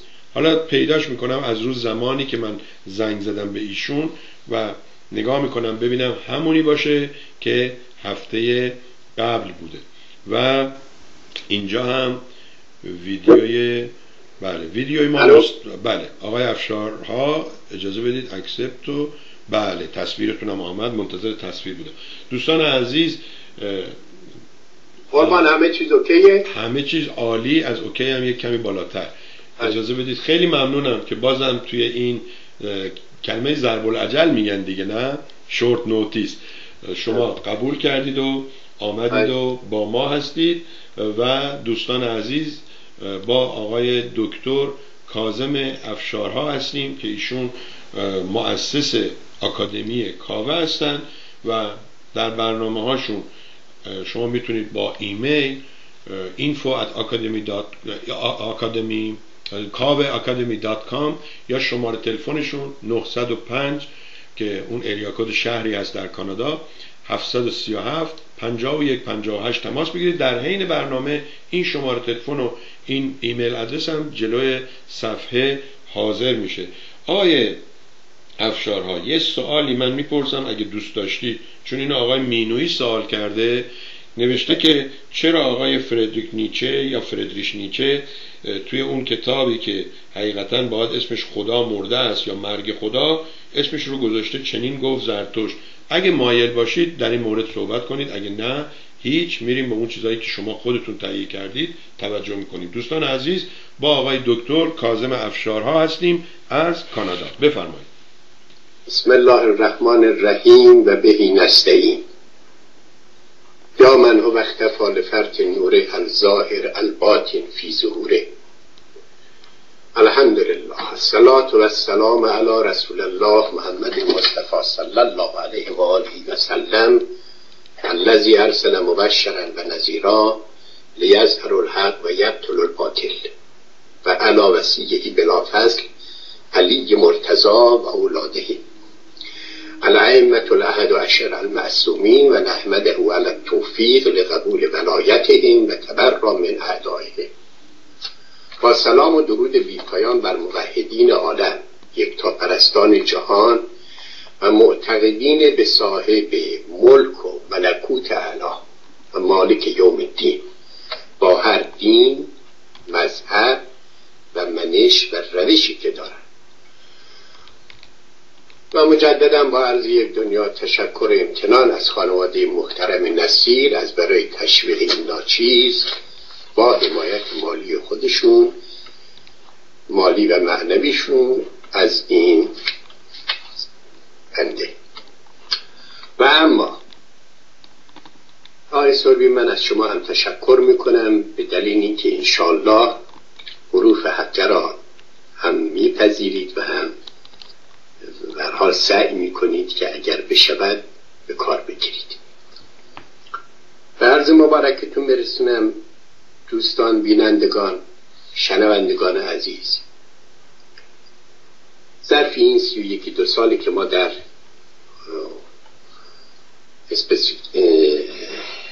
خصوصا مشخصا در نورت امریکا هستیم بلکه جمله بسیار بسیار خنک بیمزه ای مشابه خیلی از چیزهای دیگر فرد بنده می‌بینم به نام not your business not my business. جمله ای فریب دهنده جمله ای اقوا کننده جمله ای که قرب برای سوء استفاده خودش از جماعت مردمی عموما و خصوصا دختر و پسرهای معصوم بعد از 18 سال که هنوز دارن وارد به اصلاح جامعه میشن و تجاربی ندارن به کار گرفت که روز بر روز هم اینو زیادترش می‌کنن. درست در مقابل این حرف بیمایه بیپایه و ناعاقلانه بلکه جاهلانه ما می‌گوییم نخرا همینطور که همین الان آی سلبی اشاره کرد که دوست آن است که بگه میگن دشمنونی که بگه خواهم گفت یا دوست آن است که هرچی بیند مثل آینه رو به رو گوید نه مثل شادمون به مو گوید در پشت سر. ما به هر حال طبق این مثال ها داستان ها نصایح مسائلی که داریم استناد می‌کنیم به اینی که میفرمایند کلهم را و کلهم مسئول. یعنی چی؟ یعنی همه حق دارن از بنده سوالاتی داشته باشن؟ و بنده هم مسئول هستم که سوال بکنم نصیحت بکنم به عبارت مذهبی امر به معروف و نهی از منکر بکنم ولی دوستان عزیز شرط اولیه این حسن نظر است. یعنی اگر جناب آقای سربی با حسن نظر که همیشه هم دارد به کسی به چیزی خواست صحبتی بکنه پندی بدهد مطلبی بگوید و طرف اگر از حد اقل عقل هم برخوردار باشد قبول بکنه. برای که من اصل بری می‌گیرم که ایشون با نظر خیرخواهی داره میگه. و همچنین متقابلا اگر حرفی شنیدن همون حس و همون احساس بهشون دست بدهد و در تکمیل و تکامل روحی و جسمی و بدنی و اجتماعی خود شخص اضافه بکنه. در این مورد من امروز به یکی دو سه نفر از مخاطبین محترمم عرایزی دارم که عرض می‌کنم و سپس میرم در داخل مطالبی که ماهیتا من می‌خوام روی اونها صحبت داشته باشم. اولین مسئله که هستش مخاطب من آقای چمناراست آقای چمنارا مرد محترمی است. یعنی من ادب کلامی رو در ایشان زیاد می‌بینم و به هر حال به زبان آمیانه پسر خوبی است به زبان به اصطلاح اجتماعی. شخص به حال محترم مکرمی است در صحبت و رفتار و گفتار. اما دو مورد مشخصا به اصطلاح قبایه لفظی من در ایشان دیدم که لازم هستش در همین جا چون جای دیگری نه لازم است و نه هم مفید. من به عرض ایشون برسونم. در مورد اولش جناب آقای سربی بینندگان عزیز در مورد انتصاب آقای مصباح یزدی به گروه حجتیه. آقای چمنارا توجه داشته باشین ما یکی مکتب حقانی داریم صحابه حقانی داریم در مدرسه حقانی قوم که زمینش را در حدود سال 43 44 بود اگر اشتباه نکنم در یادم نمیاد. اون حاج حسین حقانی بود در قوم داد و خرج و پول ساختمانش هم مرحوم آیت الله حادی میلانی از زعما و فهول علمای ایران در اون زمان از مشهد ایشون عطا کردند و ساختمان کردند. و مدرسه حقانی شاگردان و افراد و تلامیزی که تربیت کرد الان معمولا نخست در افریقا. از فهول ارز کنم بزرگان سیاست هستند در افریقا در شرق در غرب و خصوصا در ایران. مکتبی است برای خودش برحال مکتب حقانی. آقای مصباح یزدی مدیر مدرسه حقانی است. حقانی ها پیرو این هستند که اینها رو به زبان ساده تر زوبه در ولایت میگن. یعنی اینها معتقد هستند که در قیاب حضرت به حساب امام عصر حضرت امام زمان جل الله تعالی فرجه و شریف در غیاب اینها باید اولول امر علی فقیه بر حال ارشاد مسلمین رو در اصطلاح پیش بگیرن و اینها هدایت کنن جامعه اسلامی را. اینها رو میگن زوب در ولایت. یعنی اینها تمام حقوق رو به حضرت صاحب عصر میدن و زمانی که ایشون تشریف ندارن به نواب عامشون. چون اطلاع دارن دوستان شاید که به هر حال حضرت از کنم بریت الله العظم ایشون چهار نایب خاص داشتن در اون ابتدا که آخرینش اون محمد سمیری بود که حتی میگن ایرانی بود و بعد از ایشون دیگه به حال در غیبت و کبرا رفتن و در غیاب ایشون ائمه به اصطلاح یعنی فهول علمی اینها که معمولا هم اولیاء دین هستند در این اصطلاح حیات الله به اصطلاح خودمون هستند در هر زمانی. یادتون هست از همون قدیم الایام اینها شاهان به نیابت آنان حکومت می‌کردن. دو تا شاه هم که اومدن تاج خودشون رو سر خودشون گذاشتن. و به ای آلا رب کمات کذبان دارین می‌بینید و تکذیب می‌کنید. دیدید به چه روزگاری افتادن. با چه حالی انداختنشون بیرون یا اومدن بیرون؟ چون تاج را خودشان گذاشتن. با اینکه آنها هم کفش کن آیات ازام بودن ولی با این تفاصیل چون علنا به نیابت آنها نبودن به اون روزگار افتادن بگذاریم بنابراین این آقایان زوبه در ولایه معتقد هستند. تمام مسائل زمانی واقعیت عملی می‌تواند پیدا بکند و مجری بشود که به تأیید ولی برسد یعنی نایب امام برسد در مسائلی که در محدوده اونها هست. خوب توجه کنید پس آقای مصباح یدی شد زوبه در ولایه معتقد به این اصلی که در قیاب حضرت بقیدت الله الاعظم بایستی ولی فقیه کار بکنه. حجتیه که رهبر اینها آقای حاجی تبلایی بود خدا رحمتش کنه. شیخ محمود حنبی ایشون خونهشون با خونه پدری ما که ما بزرگ شدیم چهار تا خانه فاصله بود. تو محلی ایدگاه مشهد. مرحوم حاج حاجای تبلایی که همون شیخ محمود حنبی تای گذار حجتیه در ایران باشد ایشون در مشهد همون زمانی که ما مکتب اسلام داشتیم که در اونجا به اصطلاح همین رهبر فعلی آقای خامنه‌ای بودن. مرحوم محمد تقی شریعتی بود در اونجا. آقای دکتر رزمجو بود آقای دکتر رکنی بود و خیلی ها در مجموع اون مکتب اسلام بود. مکتب حجتیه رو مرحوم شیخ محمود حلبی بر به اصطلاح مقابله با بابیه و بهایی در مشهد ایشون درست کردن که چه نفوذی هم در کل ایران و کلا پیدا کرد. به نام حجتیه. این حجتیه آقای ارز کنم چمن آرا اینها درست و هشتاد درجه عکس مکتب حقانی هستند. اونها معتقد به پیروی از حدیث رایتن حدیث رایت رایه همون پرچمه.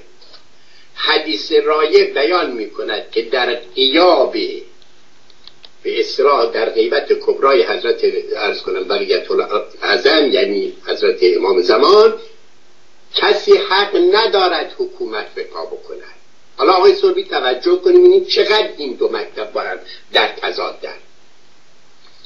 مکتب به اصطلاح رایت یعنی حدیث رایه که نقل از امام صادق علیه السلام هستش و به اصطلاح در اون مستدرک ارز کنم که ابن حجر اسقلانی هم درجه و در کافی جلد سیزده هم درجه میگه ازا رایتون طرف قبل قیام قائمه ها صاحبه ها تاغوت یعبد من دون الله جل جلاله. یعنی هر کس که در قیاب امام زمان جل الله تعالی فرجه و شریف علمی به پا بکند به عنوان حکومت این اصلا تاغوته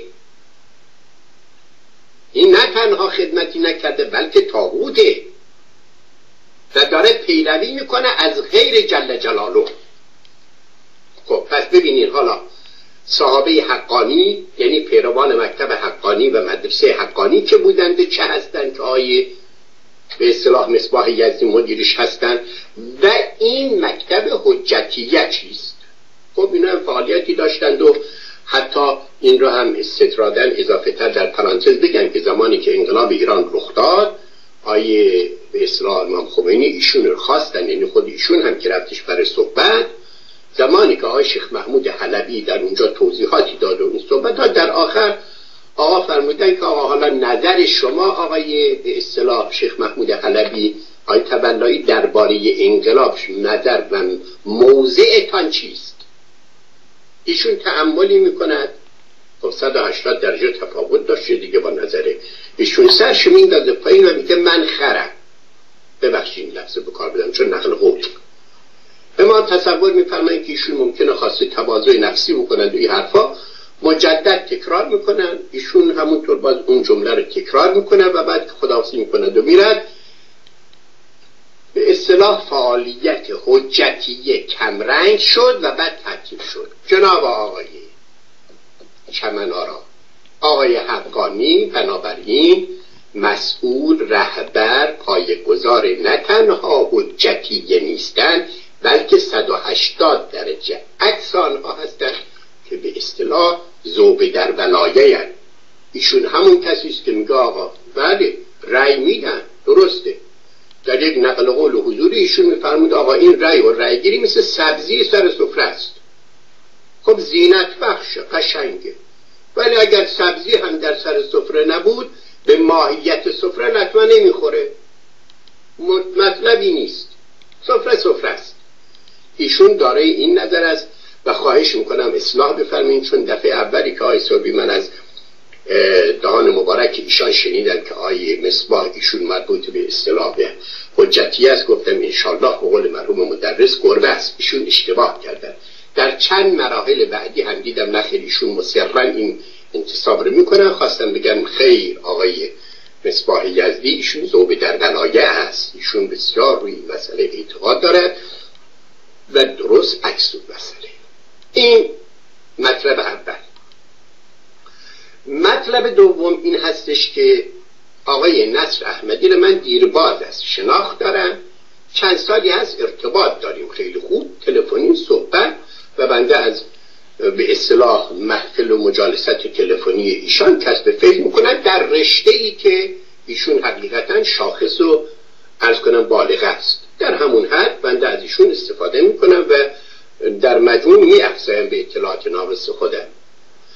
آقای دکتر نصر احمدی آیه سربی شدیدن با این ارکان اربعه آقای ارز کنم چمنارا که در اندیشکدهشون هی پروپاگاند می‌کنن مخالفت دارد. تا جایی که من یادم میاد آقای چمن آرا چهار رکن اصطلاحا درست کردن برای خودشون که بهش می‌گوین ارکان اربعه. حالا چرا ایشون باید تردید گذاشته؟ ما ایره نفهمیدیم. اینو باید متوجه نشدیم. حالا به هر حال این ارکان اربعهشون عبارت است از فردوسی که آقا چه دشمنی داره این نصر احمدی و به حق و با دلیل.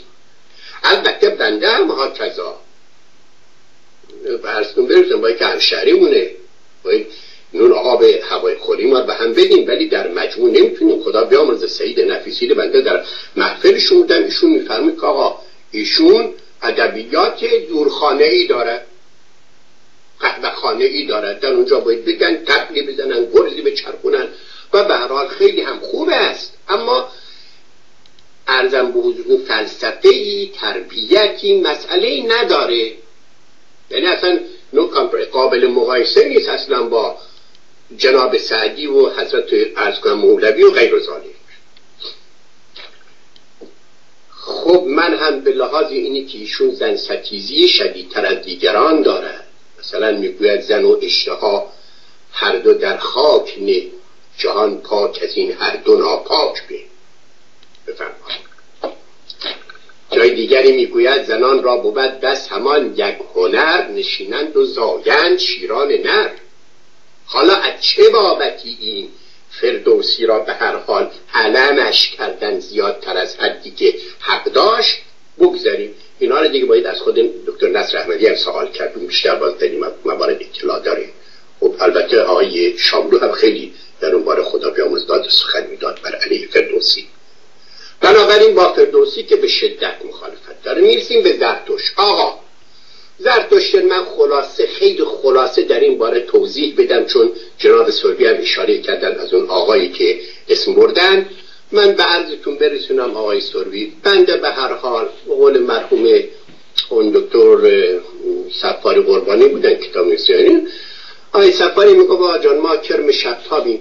چهار میلیمتر دور خود ما روشن می‌کنیم. ما به همین ارزم به حضورتون که اینی که ازش پیروی می‌کنیم بتونیم اطلاعاتی داشته باشیم به اندازه مقداری که بتونیم دنیا و آخرتمون رو انشاءالله تضمینی کرده باشیم. که باید این زرد و شینار و البته مطالعه داریم به طور تاریخی و سمایی من گمان نمی کنم آهای سربی کسی در دنیا باشد که این سه تا موضع منصوب به جناب زرتشت اقرار نکنه مثلا نه یارو زرتش میشرسه نه مرتش میشرسه هیچی نمی‌دونه. ولی میگه آقا کلام معقول حرف خوب بزن فکر خوب بکن کار خوب بکن. این که آقا با قول قدیمی ها خیلی عذر می‌خوام. ببخشین این لحن آمیانه رو به کار می‌برم. تخم دو زرده که نکرده کسی گفته این حرف. بنده گمانم می‌رسد. اگر همار لایشهر را زنده کنم به زبان آدمی حرف بزنه اون هم میگه مثلا که آقا خوب حرف بزن. کلام نیکو. نیکو فکر کن نیکو داری این دلالتی نمی‌کنه بر اینکه من بخوام بگم ایشون ارز کنم یک حقانیت نمی‌دونم روحانی آسمانی داره مسئله فلسفی گفته. یک سه تا حرف گرفتن و چون خیلی راحت دیگه هیچ آداب و هم نداده بیارو. نه نماز می‌خواد نه روزه می‌خواد نه چیزی می‌خواد نه حرف می‌زنه طرف چسبیدن به همین که آقا حرف خوب بزن. که سبحان الله هیچ کدوم شدم ندیدم. نیست من جفایی که از این جماعت در امور اجتماعی دیدم از شیطان رجیم هم ندیدم. برخلاف تمام این حرفا. بگذاریم. پس با زرتشت هم که باز یک چیزهای این نصر احمدی می که من موی بر بدنم راز میشه. میگه یک به اصطلاح اقابه این می‌داده یک حرفایی زده که خب برای رجوع به ایشان مراجعه بکنید شدیدترین و بدترین و زشترین شکنجه ها و اقاب و جزای به اصطلاح که می‌خواستن بدن ایشون میگه در مکتب زرتشت است. العهدت و راوی ایشون میفرمن مراجعه بشه پس با زرتشتم که آقای چمنا را ایشون مخالفت داشت. کوروش هم که دیگر نگفته پیداست. کوروش هم که نگفته پیداست. بابا این کوروش و کوروش پرستوی یرفا مفت همانهایی که ارزم بودون باد در بوغش می‌کنند. از اسرائیل و از این صحبت ها بگیرید برید جلو تا عیادی ارزم به حضورتون ظاهر و باطنشون پادشاهی بود حالا اصلا اولا من که به تاریخ اعتنایی ندارم. اصلا علمی نمی‌دونم اینا رو دستگاه دانشگاه میدن که رشته اضافه کنن و پول بگیرن سر ملت رو بند کنن. تاریخی است دیگه به حال آقا کورشی گفتن ایشون بوده است. البته ما کوروش پسر یکی از بستگان هم هستش. ما او رو بیشتر از خود او کورش می‌شناسیم. یک شخصی بوده است دیگه. با اون هم آنچنان جناب نصر احمدی ارزم به حضورتون مخالفت و دشمنی مدلل. نه اینکه دشمنی خصوصی دارد که بازم بیشون مراجعه کنیم. و اما آقای چمنا را آخرین رکن اربعه شما قرآن راستین است. که در حال خودتون خوبه. گفتینی که من میگم شما شبت ساده معدبی هستین نمیره که خودتون گفتین که آقا ما به هر جورتون کسی نگاه هم نکردیم. با اون هم ایشون سر مخالفت داره که آقا شما از عربی غنی هستید نه از علم دین غنی هستید. چه کاری بوده این کاری کرد یا عشق خودتون باد خودتون. حالا این مسائل که من گفتم چون جناب نصر احمدی از بنده به عنوان یک نفر مرد موحد معتقد به خدا و خدا پرست و ضمنا آشنا به آشنای تلفنی و دوست به من گفتن که این جفایی است که بر ایشون می‌کنید. آقا در آخر آقای چمنارا شما اون کتابی که ایشون نوشته درباره قانون اساسی میچتونید به اندیشکدتون که اینجا خلط مبحث می‌شود و من فرصت ندارم که بگویم ای ایوه الناس 123 نوع ما مغالطه داریم که هر کسی 40 50 نوع این رو ندانسته در روز استفاده می‌کنه. فقط منطقیون می‌تونن بفهمن که ای بابا داره چه به اصطلاح مغالطه ای رو به کار می‌گیره. که خب همه دشان کم اصلا کسی اعتنا نمی‌کنه به این مسائل بگذاریم.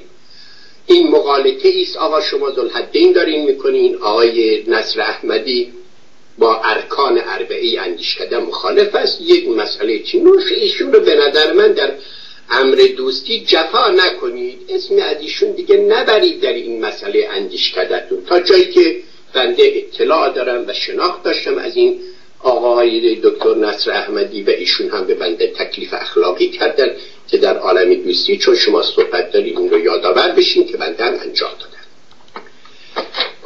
این به اصطلاح نظر اولی بود که من درباره این شخص داشتم که عرض کردم. دومین شخصی رو که می‌خوام با ایشون صحبت بکنم آقا رضاست.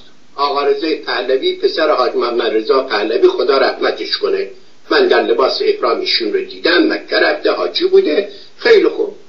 حد من قبولش می‌کنم اما اون شین الف را اصلا محل نمی‌گذاره تو گوشم عادت نداره به این مسئله. این آقا رضا توجه داشته باشه آیه سربی یک بله بگید من بفهمم سلام داره میاد قربان. بفرمایید بعد این آقا رضا ارزم به حضورتون که اگر واقعا مرحوم علم دوست مرحوم پدرش که بیرجندی مال خراسون خودمون بود. یا آقای اقبار اولاد مقبل سلطنه اون هم دوست شاه بود. و چه مشهد مال کوچه سراب. اگر اینها می‌خواستن باشن گوشش می‌گرفتن و گفتن برو بچه جان بازی تو بکن. ول کن بابا این حرفا رو. ول کن رئیس جمهوری عوض میشه. یک نفر میمیره در یک جای. یک ساختمونی علو می‌گیره به قول مشهد یا آتیش می‌گیره. میگن آقا دیگه حالا نوبت نوبت ماست. بابا ول کنین این حرفا رو. ول کن آقا جان برو ماشاءالله ماشاءالله. پدرت به قدر کافی برات پول گذاشته ثروت گذاشته. خب الحمدلله خانواده ای داری زن خوب بچه های خوب. برو بابا زندگی تو بکن یه تیاره هم بخر ماشاءالله تو کار کمی چی رفتیم. تیار سواریتونه بکنین ارزم به حضورتون. دست پرش خب شما تعلیمات کاراته بهتون دادن. می‌تونید باشگاه هم درست بکنید آخه کارهای دیگه هم هست. بابا چیه شما می سر ملت بل میکن سر خودتونه. بل میگه پول بدیم. پول بدیم بابا. حالا دیگه وقت نوبت نوبت ماست.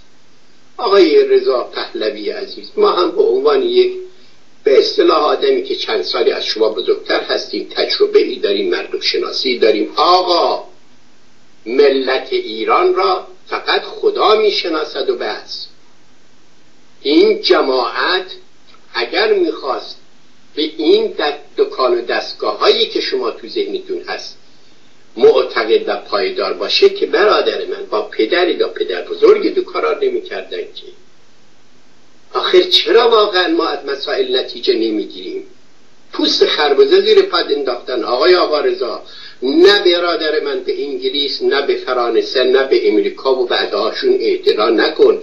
چهار تا جوجه جوونی هم که دورت گرفتن از اناس و ذکور یعنی زن و مرد بابا جوون بنده خدا اصلا صدر انقلاب یا نبوده یا پنج سال شیش سالش بوده. این بابا تو کلشه که بره فردا تو بری اونجا و این بشه وزیر خارجه ای که بشه سفیر ایران در نمی‌دونم امریکا. این فکرار بذار کنار برادر من. توجه داشته باش. از هزار سال هست پادشاهان به نیابت روحانیون حکومت می‌کردند و تربیت می‌شدند و ارز کنم که پادشاهی می‌کردند. مسئله شرق عموما و مسئله اسلام خصوصا این در وجود و نهاد افراده. کاری نداریم گرفتاری هست کاری نداریم مصیبت هست کاری نداریم مردم عصبانی هست. اما به جای خودش که برسه معنیش این نیست. از نظر منطقی آقای سربی می‌گوین ارز کنم که چی میگن؟ نه نفی, نفی معضا که چی شی نمی‌کنه که شما اگر میگین اونها ناراحتی دارن اونها اردم بودورتون مردم اینجور هستن تو معنیش این نیست که شما رو بخوام فلان بگیرن که برادر من. یک کم رعایت کن یک کمی بردر به فکر زندگیت باش ماشاءالله عمری ازت گذشته. دیگه گول نخور به این حرفا. این را هم بنده به عنوان یک نفر آدمی که احساس می‌کنم خب یک چیزی میفهم آدم. یک کمی اینقدر ماشاءالله ارز کنم تهیج کننده دارید برای دخالت به این مسائل؟ بدن الان پن نفرم. بگن آقا برو برادر سر به زندگیت بند کن عزیز من. کاری که مربوط به زندگی خودت هست انجام بده. این حرفا رو ولش کن. نقض استخوان شما از امریکا و انگلیس و فرانسه پر شده. آقا قدری به خود بیاین هوای امریکا رو خوردی نان امریکا رو خوردی استخوانت از اینجا رو 18 سال فرستادن اینجا موندی اینجا. حالا هی بری که سرتونه بند کنی با چهار نفر مثل خودتونه ایران ایران می‌کنی که چی؟ ده سال پونزده سال داره اومده اینجا میگه آقا الودا ما اونجا با وطنمان شرم داریم خجالت داریم از خودمون. از این آبها رد شدیم آمدیم اینجا شدی اینجایی. سعی می‌کنی زبان تا بهتر کنی از زبان مادری فاصله بگیری. سعی می‌کنی بیشتر در اینجا پوز و غیر درست بکنیم یعنی از اونجا فاصله گرفتیم. چه چیزی داریم نسبت به ایران؟ جناب آقای سربی من به عرضتون برسونم سال 69 میلادی تا هفتاد دو تا هفتاد سه که در فرانسه بودم اولی که رفته بودم اونجا زمان بود که برنامه شال بگور فوت شده بود و این آقای پومپیدو اومده بود. تو کار هنو توی مسائل این چهار بود. من به نظرم جون 69 بود رفته بود چهار ماه قبلش دوگل فوت شده بود. بگذاریم یک دو سه روزی رفتیم در یک مسافرخانه بعد هم اون دوستان برادر بزرگم که اون موقع 20 سال بود فرانسه بودن اومدن ما رو بردن در یک جایی به نام فوایه فرح. یک ساختمانی بود در اون اگر اشتباه نکنم ارز کنم پاریس چهاردهم خیابون ژنرال لوکلر. اونجا من رفتیم اونجا یک جایی بود فایه فرح. 20 تا 15 تا 20 تا اتاق داشت یک ساختمانی بود که به ایرانی هم در اتاق دو تا به اصطلاح تخت داشت و ما با اون پسر تیمسار نورایی که همینجا اگر انشالله حتما سلامت هست مرداد جان و ارزم بود ما دیگه مشابه ما هم سن ماست دیگه الان. سلام هم عرض می‌کنم اگر بشنوه یک زمانی این رو پدرش ایشون وابسته نظامی شاه بود در مسکو. من با مرداد توی یکی از اتاقا بودیم. البته مهدان روی موقع زبان فرانسش بسیار عالی بود برای که اصولا در اونجا رشد کرده بود. کاری نداریم. ما هم در اونجا تازه بود رفته بودیم. این فایه فرعی ساختمانی بود که نقل و حدیث یاد داشت. گفتن اینجا زمانی که دانشجو بودم و اوایل اونجا بود است توی حرفا و بعد هم که رفت است و به اصطلاح زن حاج محمد شده بود. ایشون اون ساختمون رو می‌خره نمی‌دونم اجا نمی‌دونم چی بوده میده به این مادام لکلر که مدیریت کنه یا بود داده. اینا همون نقل حدیث که اون موقع می‌گفتن. بنده چون یک کتابی به حساب در فصول آخرش هست که دارم میمیسم به این مسئله فایه فرح لازم بود به اصلاح یادداشتی بکنم مسئله رو نقل حدیثی بگم در اون رابطه بنده در توی سپتامبر سال 2016 آقای سربی عزیز یک نامه نوشتم. خیلی محترمانه که همیشه هم باید باشه با تمام بندگان خدا محترمانه انسان باید رفتار گفتار بکنه. به ایشان نوشتم خدا بیامرزی دادم مادرش شوهرش و مرزا پهلوی رو به اضافه ارزم بزرگتون بچه هاشون حرفا. بعدم نوشتم که خواهش می‌کنم اگر زحمتی نیست چند خطی برای ما بنویس که اقلا تا زنده هستی نقل و حدیث خودت را هم درباره ساختمان شنیده باشی آی شما چون از خودتونم دیدم اینها رو بلافاصله که یک چیزی میدن یعنی که یکم به کامپیوتر یا واردن فوری یک جواب سریعی میاد برای طرفی که فرستاده و ایمیل. هم میهنان عزیزم مایلم سپاس بیکرانم را به همه شما عزیزانی تقدیم کنم که از ایران و دیگر نقاط از این به اصطلاح پخانه کامپیوتری. بعدم گفته ما هر چه سریعتر جواب خواهیم داد. دوستار همه شما برای بله.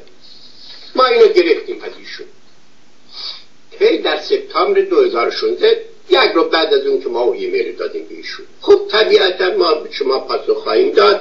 یعنی بعد یک هفته در بیست یک ما دو جوابی نشد.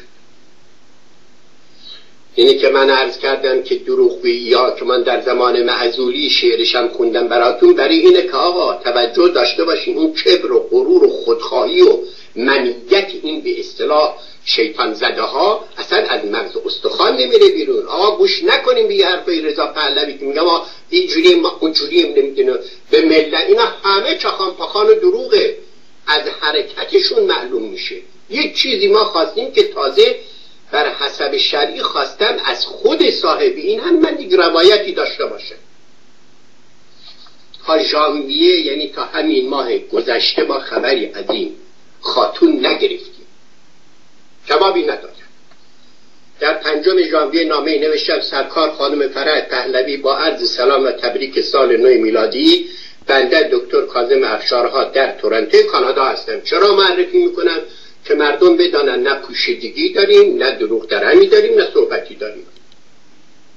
قبلا خدمت حضرت عالیه نامه ای تقدیم کردم و ضمن آن از شما درخواست نمودم مختصری توضیحات در مورد رزیدنس دانشجوی پایه فره در پاریس 14 به مدیریت مادام لوکلر که گربه اش به نام پاناش معروف محل بود.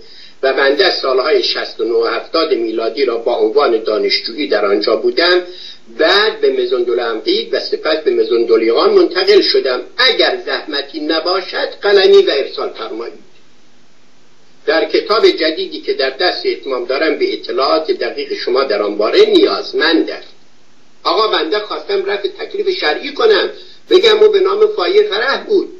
شما در اونجا بانی سایش بودی توضیح بده که فردا ما مدیون اخلاق شرعی نباشیم. بگیم آقا اگر اون روایات و حدیث و نقل های آنچنانی رو شنیدیم که چند نقطه می‌ذارم فقط خب خود اینم اقلا گفته باشه. در که خب چنانچه اطلاعی از جناب عالیه نرسد چاره ای نخواهد بود. جز آنکه به همان شنیده های آن زمانم استناد نموده و کتاب را به اتمام برسانم با آرزوی سلامتی شما احتراما کازم افشار این آقا ما نوشتیم. آقای سربی عزیز بین خود و خدا در این مورد نظر شخصی تو به عنوان یک دوست اعلام کن. یه کسی نمید آقا افشار تو در روز زمان سربی جان شما در روز زمان شیراز بیه نقل قولی اینجوری بوده خودی که در ماجرا بوده بگو برای ما. سزاوار جواب نده. نه دیگه معمولا کسی که اونجا درست این کار. آقا من پنجاه روایت چندشاور باید بگم از کارهای شما حرفهای شما در اونجا داشتم. می‌خوام یک روایت خودت بدی تا بگم بابا رحمت الله. خب ارز کنم زن سیده این سادات هم یک چیزی به ما گفت. این روایت رو نقلش کنیم لاغر. حالا من در همینجا از جناب آیه انصاری احمد انصاری هستن کی هستش ایشون. احمد علی مسعود انصاری. احمد علی انصاری مسعود انصاری ایشون بنده سلام عرض می‌کنم خدمتشون. موحدی است عالی مقام. خدا انشالله حفظش بکند به هر حال خواهش می‌کنم اگر ایشون اطلاعی در مورد فایده فرح دارد خب اطلاعی به ما بده. حتما ایشون حتما پاریس دو اطلاعاتی داره در اون مورد. اگر نقلی حدیثی هم ایشون می‌دونه بگه کمک کرده شرعا به ما در این مورد. آقا به این حرفا گوش نکنی. اینها همشون در از کنم هنوز همون آب و هوای سلطنت چرتوپرتیشون دارن سیر می‌کنن و به این آقارزه که بنده توضیح دادم پسر جان گل نخور برادر عزیز این نمی‌دونم رئیس جمهوری اینجا عوض شده نخ ساختمون فلان آتیش گرفته نمی‌دونم یک نفری در اونجا مرده. اگر می‌خواست آقا مسئله اسلام و مسلمین با مرگ یک کسی ارز کنم دیوارش بلنبد به قول مشهد یا خراب بشه باید بعد از رسول الله صلوات الله علیه مجمعین اسلام میخوابید. یک میلیارد یک میلیون و هفتصد یک میلیارد و هفتصد میلیون هستن که اصلا در فرانسه الان مردم قیام کردن که آقا حلال حلال چیه؟ دکون همه گوشتای حرام را بستن اینا. همه حلال خور شدن. وحشتش گرفته قرب از پیشرفت اسلام و مکتب از کنم راقیه اسلام. حالا شما آمدین پیک فوت کرد؟ نمی‌دونم پیک هم آمد رئیس جمهور شد. حالا دیگه نوبت ماست. نه آقا جون. تا جایی که بنده فکر می‌کنم و استدلال معقول و منطقی ریاضی میگه ممکن است لطمه ای بخورن. ولی آن زمانی است که جنگ سومی باشد که بین خود امریکا هم بیشتر از ملت بخواهد خورد. اگر نه به این حرفا دلتون خوش نکنید این هم دلالتی بود که با عقل قاصر خودمون به آقارزای گل گلاب خواستیم این مسئله رو بگیم. و اما مسئله سوم جناب آقای سربی جسارتا به خود حضرت عالی برمیگرده. من حدود چهار پنج نفر به من زنگ زدن. بعضی ها به حالت گریه. که آقا یک دونه ارزم بودورتون که نواری پخش شده است که شما اعلان فرمود که یک ویدیویی هستش که قرآن توشه. آنها تصور کردن البته بعدا که من هم گوش کردم. خب انسان خوشحال میشه که می‌خواد لابد صوت از کنم که زیبای عبدالسمد عبدالباسد بخاری معروف مثلی باشه. چهار تا آیات کریمه بشنوه انسان که برای بعدی ها از هر موزیک و موسیقی عالی تر است. به قول مرحوم شاملو هرچی خواننده اونگو ار ار می‌کنن حرفای میزن خدا بیامرزن برای خودش. خب یک اصفاتی هم برای این که به حساب جانب خیلی زیباست به نام قرآن. نگو حالا این شخص همون چرتیات چرندیات مسخره اون مردی بود به نام فولادوند و این صحبت ها که گویا میگن دی به درنگ واسه شده است دی میگن. چه کار نداریم؟ شکنجهگر سالت قبل قدیم کار نداریم. اون رو گذاشتن که نده من کتلت درست کرد. کتلت می‌دونم زد تو گوشم شتلق. اولا دوستان آقای سربی چون به هر حال من چند دفعه از حضرت علی برای اینکه تکلیف خودم را تعیین بکنم از نقطه نظر کارم و صحبت ما همکاریمون صحبت ها سوال کردم به همدلله شما گویا آدم معتقدی هستی. اگر دوستانه از بنده بشنوید یک به اسلام عذرخواهی از خدای خودتون بکنید. سزاوار نبود. اینقدر چرتیات در همین کتاب های داستانی ارز کنم که نمی‌دونم. حضرت موسی علیه السلام حضرت عیسی علیه السلام وجود داره که خدا آمد کشتی گرفت بازش اینجور کرد وجود کرد. یک کلام از اونها نمیگن.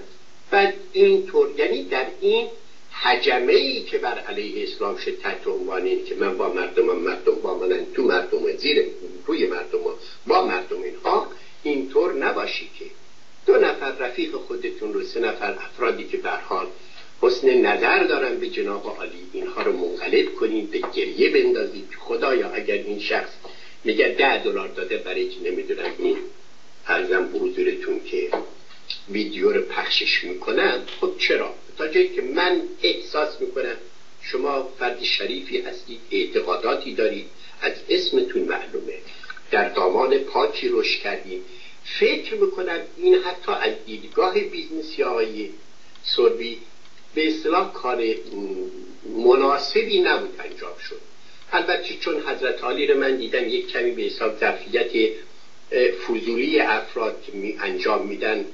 ظرفیتتون به نظر من این جمله رو به کار نبرم. نه یعنی زود ناراحت میشین و الفاظ به تو چه مربوط؟ آقا تو چی هستی؟ تو چی هستی؟ این رو بنده خازعانه گفتم و اگر یک وقت حمله ای دارید نکنید. خواهش فقط ما لازم دیدیم که اینو به عرض شما برسونیم که اون دوستانی که شما فت و فراوان هم دارین اینها خیلی قصه دار شدن. بنده هم خدایا خجالت زده شدم در این من استغفار می‌کنم. ولی خب هنوز که هنوز ایمانم را به این شخص دارم و باز در بین تمام این از کنم مدیایی که من می‌شناسم باز هم معتقدترین ها تمیزترین ها و بهترین هاست. ایشون هستش. البته چون اسم حضرت عالی را اگر بردم الان بردم اگر یک وقت جوابی صحبتی دارید و خیلی تند و تیز نیست که ما رو به هر حال هر حال ناراحت بکنه. بفرمایید. نه جوابی ندارم دیگه. نظر شماست و نظر دوستان. خیلی ممنون. بله، ولی این به هر حال این وجود داشت. به چه امکانی ارزم به خدمت که تا مورد بود خواستم عرض بکنم. که به عنوان یادآوری و در جریان به اصطلاح جلسه گذشتم درباره مسئله جنگ های صلیبی که اصولا باعث ارز کنم که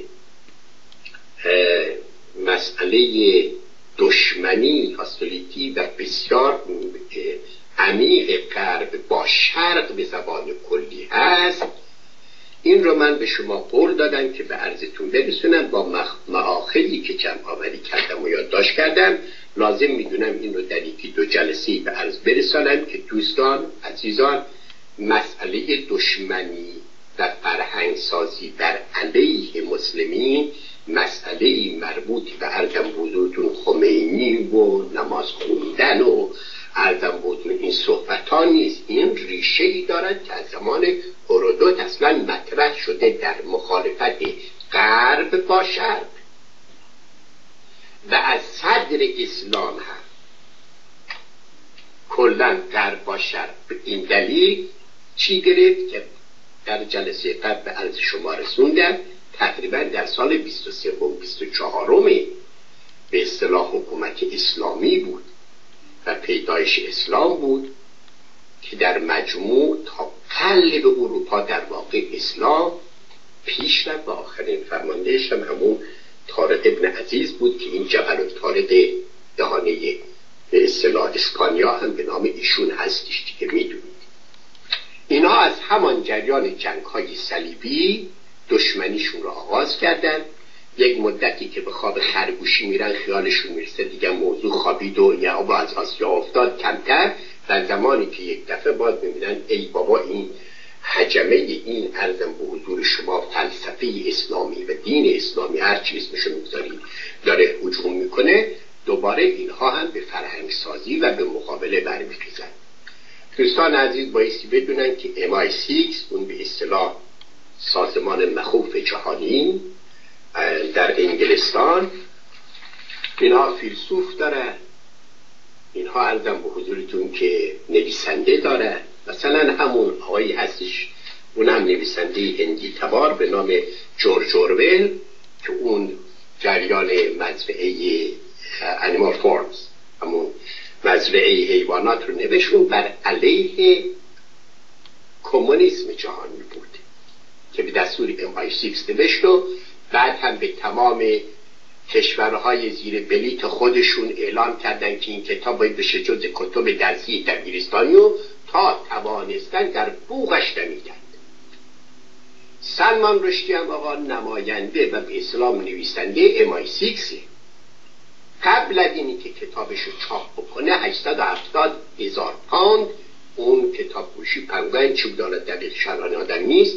به ایشون داده بود قبل از این که حتی در بیاد. خوب.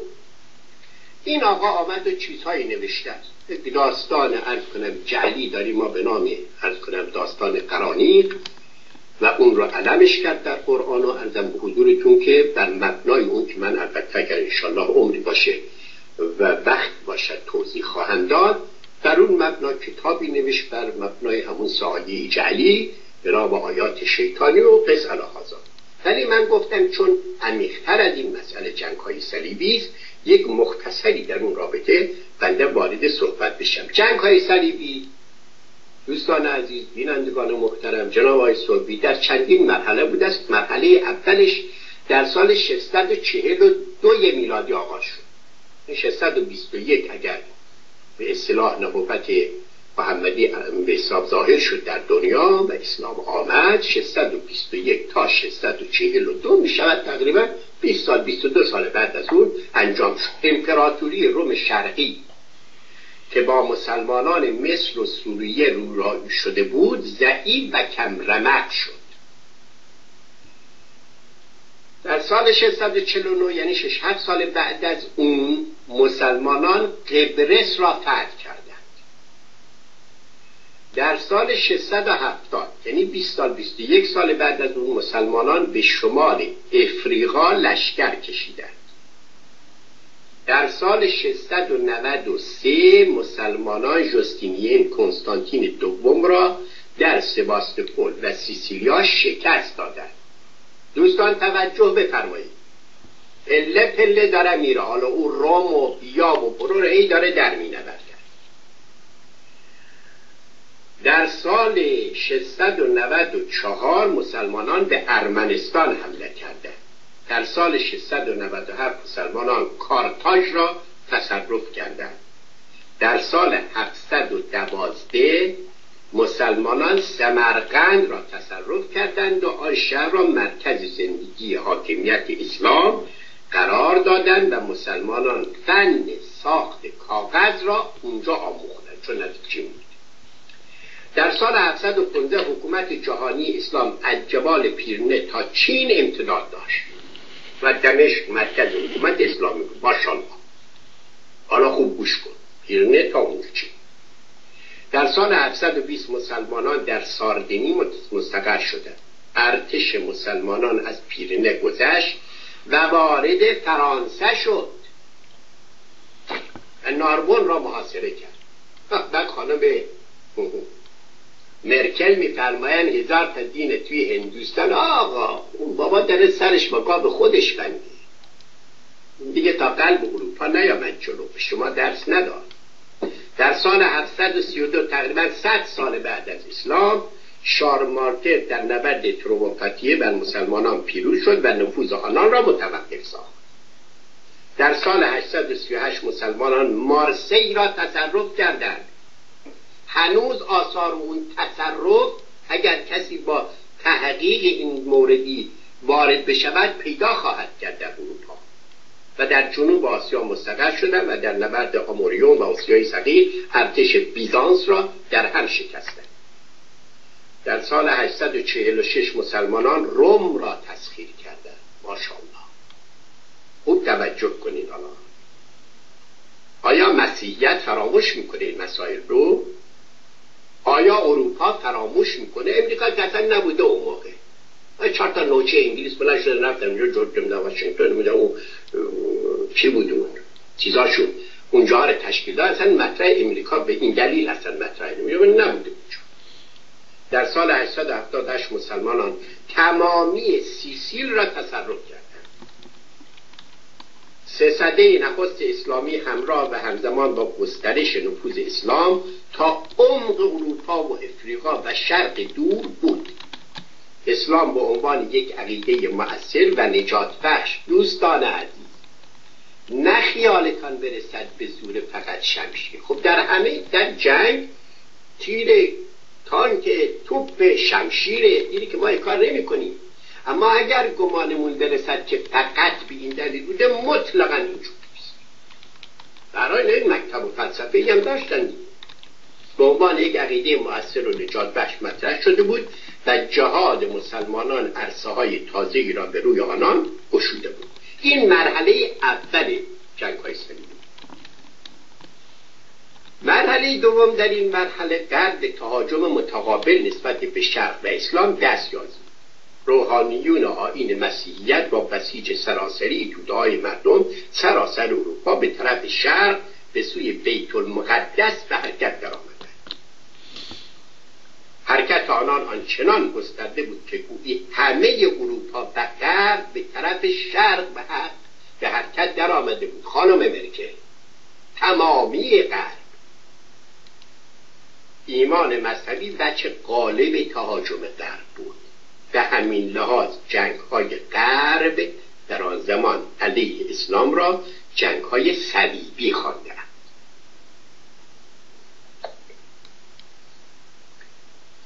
آقای سربی اگر تا اینجا موردی اشاره سوالی مطلبی فرمایشی هست بفرمین در خدمت باشد نه من سوالی ندارم فقط اجازه بدید به دوستان یادآوری کنیم که از طریق تلفن می‌تونن با شما در تماس باشن. یا از طریق ایمیل؟ ایمیل, ایمیل. شما توضیح میفرمایید گاهی که کاو academy این کاو academy info at کاو academy ایمیل ماست. بله. کمپانی که ما در سال تقریبا حدودا 24 5 سال قبل در کانادا ایجاد کردیم کاو educational center هست که یک به اصطلاح کمپانی مادر بود و بعضی از کشورم به اصطلاح فعالیت‌های دویستانی فرنگی داره. این کاو اکادمی در کریستالی بود که در سال ارز کنم 91 افتتاح شد و در سال 2013 با توجه به اینکه که بنده خواستم به حال کنار گیری داشته باشم این صحبت هم فعالیت دبیرستانیشو متوقف کرد در این مدت بیش از چهار هزار نفر از افرادی که الان شخصیت هایی هستند در توی کامیونیتی من جمله خدا بیا مرز فرزند همین آقای ارزم بودرکون که رضا مریدی که الان ایشون وزیر هستند در اینجا. پسرشون ما افتخار داشتیم که یکی دو سالی در خدمتش باشیم و ایشون هم به عنوان دانش آموز اون دبیرستان بود به هر حال. خیلی از شخصیت آمدند و الو؟ بله بله بشون چون صدا اینجا در مجموع بعد تلفن 905 737 51 58 برد کنم ایمیل هم هست. اگر امری فرمایشی توبیخی تنبیهی ارشادی تشویقی هرچی که بود می‌تونن به ما ایمیل بفرمایند و در کمال عرضم حضورتون که با دقتی و سرعت پاسخ خواهیم گفت. خیلی خوب. چون من می‌خوام مدون باشه این طرحی که به اصطلاح تهیه کردم این مرحله اول جنگ های صلیبی رو گفتیم. به مرحله دومش اجازه بفرمایید وارد نشدیم برای که دلم می‌خواد با توضیحات لازمه به دوستان گفته بشه. و الان مثل که بیشتر از 5 6 دقیقه وقت نیست جناب درست میگم؟ بله بله. بله. این هستش و اگر که مطلبی باشد مسئله باشد الان جوابگو هستیم که از طرف شما باشد. اگر هم که نیست باز هم ادامه بدهیم تا ازم موضوعتون که زمان به سر بیاد. روی فیسبوک دوستان چیزی نوشتن ولی شما یه بار گفتید نمی‌خواین چیزایی که روی فیسبوک هست به اصطلاح خودتون. اگر اگر به اصطلاح چیز نیستش لغویات یعنی انتقاد هست اهلا و بله. اتفاقا اگر تقویاته که نه. باشه بعد خصوصی اگر خواستن. چون من اصلا فیسبوک بلد نیستم. واق کنم بدونم. مثلا من چیزی نمی‌دونم از فیسبوک. ولی بفرمایید. بله. حالا یکیشو بگید مهد نمونه. خب یه خوبیشو میگم یه بعدشو میگم. یه آقای به نام رضا گفتن که با وجود آقای افشارها مردم تیوی تبرک شده. و یه آقای به نام علی راستانی که ایشون شاعرم هست. والا تا, تا اونجایی که ما می‌دونستیم این کلمه شعر و شعور و شاعری البته شما یه بار توضیح دادید که معنیش این نیست که هر کی شاعر من شاعرم و شعور نمی‌دانم. بله بله. ایشون ایشون نوشته که سلام عزیز جان. به کی؟ به من. یا بش... نمی‌دونم. حقیقتا ایشون انقدر شاعر خوبیه که حتی معلوم نیست به کی نوشته. آقای راستانی اینو مقید کنید آقا. یکی از مبالغه های همینه یعنی قلب در مرجع زمین. شما میگی سلام عزیز جان. این زمینیرش مشخص است مرجعش. این جان کیه؟ بله. افشار گوینده دیگری است. شنونده بگذاریم. حالا ایشون نوشته که وقت به این گرانی و پر ارزشی است. نمی‌دونم با این حرف ها صرف بشه. من جواب براش نوشتم که دوست عزیز نه اجازه بدید ایشون این سوال کردن شما هر جوابی نوشین پیشا پیش متشکر واسطه اما یه موضوع. برادر عزیز گفت پول صاحب خانه میره تحت همسایه میسوزه. یک دیگه میگه یکی می‌گیره. شما بنده خدا چرا از حرف خودت پیروی نمی کنی. شما چرا نگاه می‌کنی وقتی گرانت را می‌گذاری جناب شاعر. از شعرایت تبعه من قاوم آقا این همه الان گوینده هستش. یک دقیقه من به چرتیات این تلویزیون های حرف ماهواری نگاه نمی کنم. میرم رو اونی که دلم می‌خواد. شما اون کار بکن. این پاسخ بنده است. من دقیقا همینو برای ایشون نوشتم. اجازه بدید فقط برای دوستان بیننده بگم که این دوستانی که زیر الفاظ شاعر و دانشمند و پژوهشگر و اینها خودشون رو مخفی کردن همین آقا هر وقت من یه چیزی می‌ذارم میاد یک کامنت های غیر مربوط می‌ذاره که دیگه من انقدر عصبانی شدم. گفتم آقا من میام مینیسم پدرم فوت شده. بیاین در فلان محل شما مینیسی عروسی مادر منه. بیاین فلان جا. خب این که نمیشه. آخه شعور داره عصبانی نشین. چهره شما وقتی که عصبانی نیستیم خیلی زیباتره. چشم. قربان چشم عصبانی نشین فقط آقایون افت کلام رو رعایت کنن. هر چی هم که می‌خواهند بفرمایند بفرمایند. اما افت کلام رو رعایت بسیار هم آقای سربی اوز می‌خوام. افراد به مادر مردم به پدر مردم به مرده مردم به زنده مردم. آقا این فحاشی زیبنده دهان خود شما نیست که در بیاد. من با تمام این که خدا گواه سربی این قدر من با این لفظ شین الفه مخالفت دارن و دشمنی قلبی و روحی و معادله ای دارن که خدا می‌دونه. با این اقلا میگیم آقا رضا شاهی می‌گفتن یک چیزی می‌گفتن مرد دستش از زمین و آسمان کوتاه خدا مردش چون برحال با آیات کریمه آقا بوده این یک اعتقاداتی داشتن. محمد حاج محمد رضا هم همینطور. آقا چرا فوش بدیم ولی انتقاد سیاسی انتقاد به آدم های زنده که قدرت پاسخگویی دارن. خب امکان پذیر بدون اشتراک بله. بسیار ممنونم از شما. همونجوری که گفتید برنامه رو بعدا در برنامه های آینده به اصطلاح اون از مرحله دومش شروع خواهم کرد. بله بله. حالا حالا دیگه پس همین جمعه ساعت سه دیگه ست شد بله. برگشت که شما شما هم همون برنامه خودتون.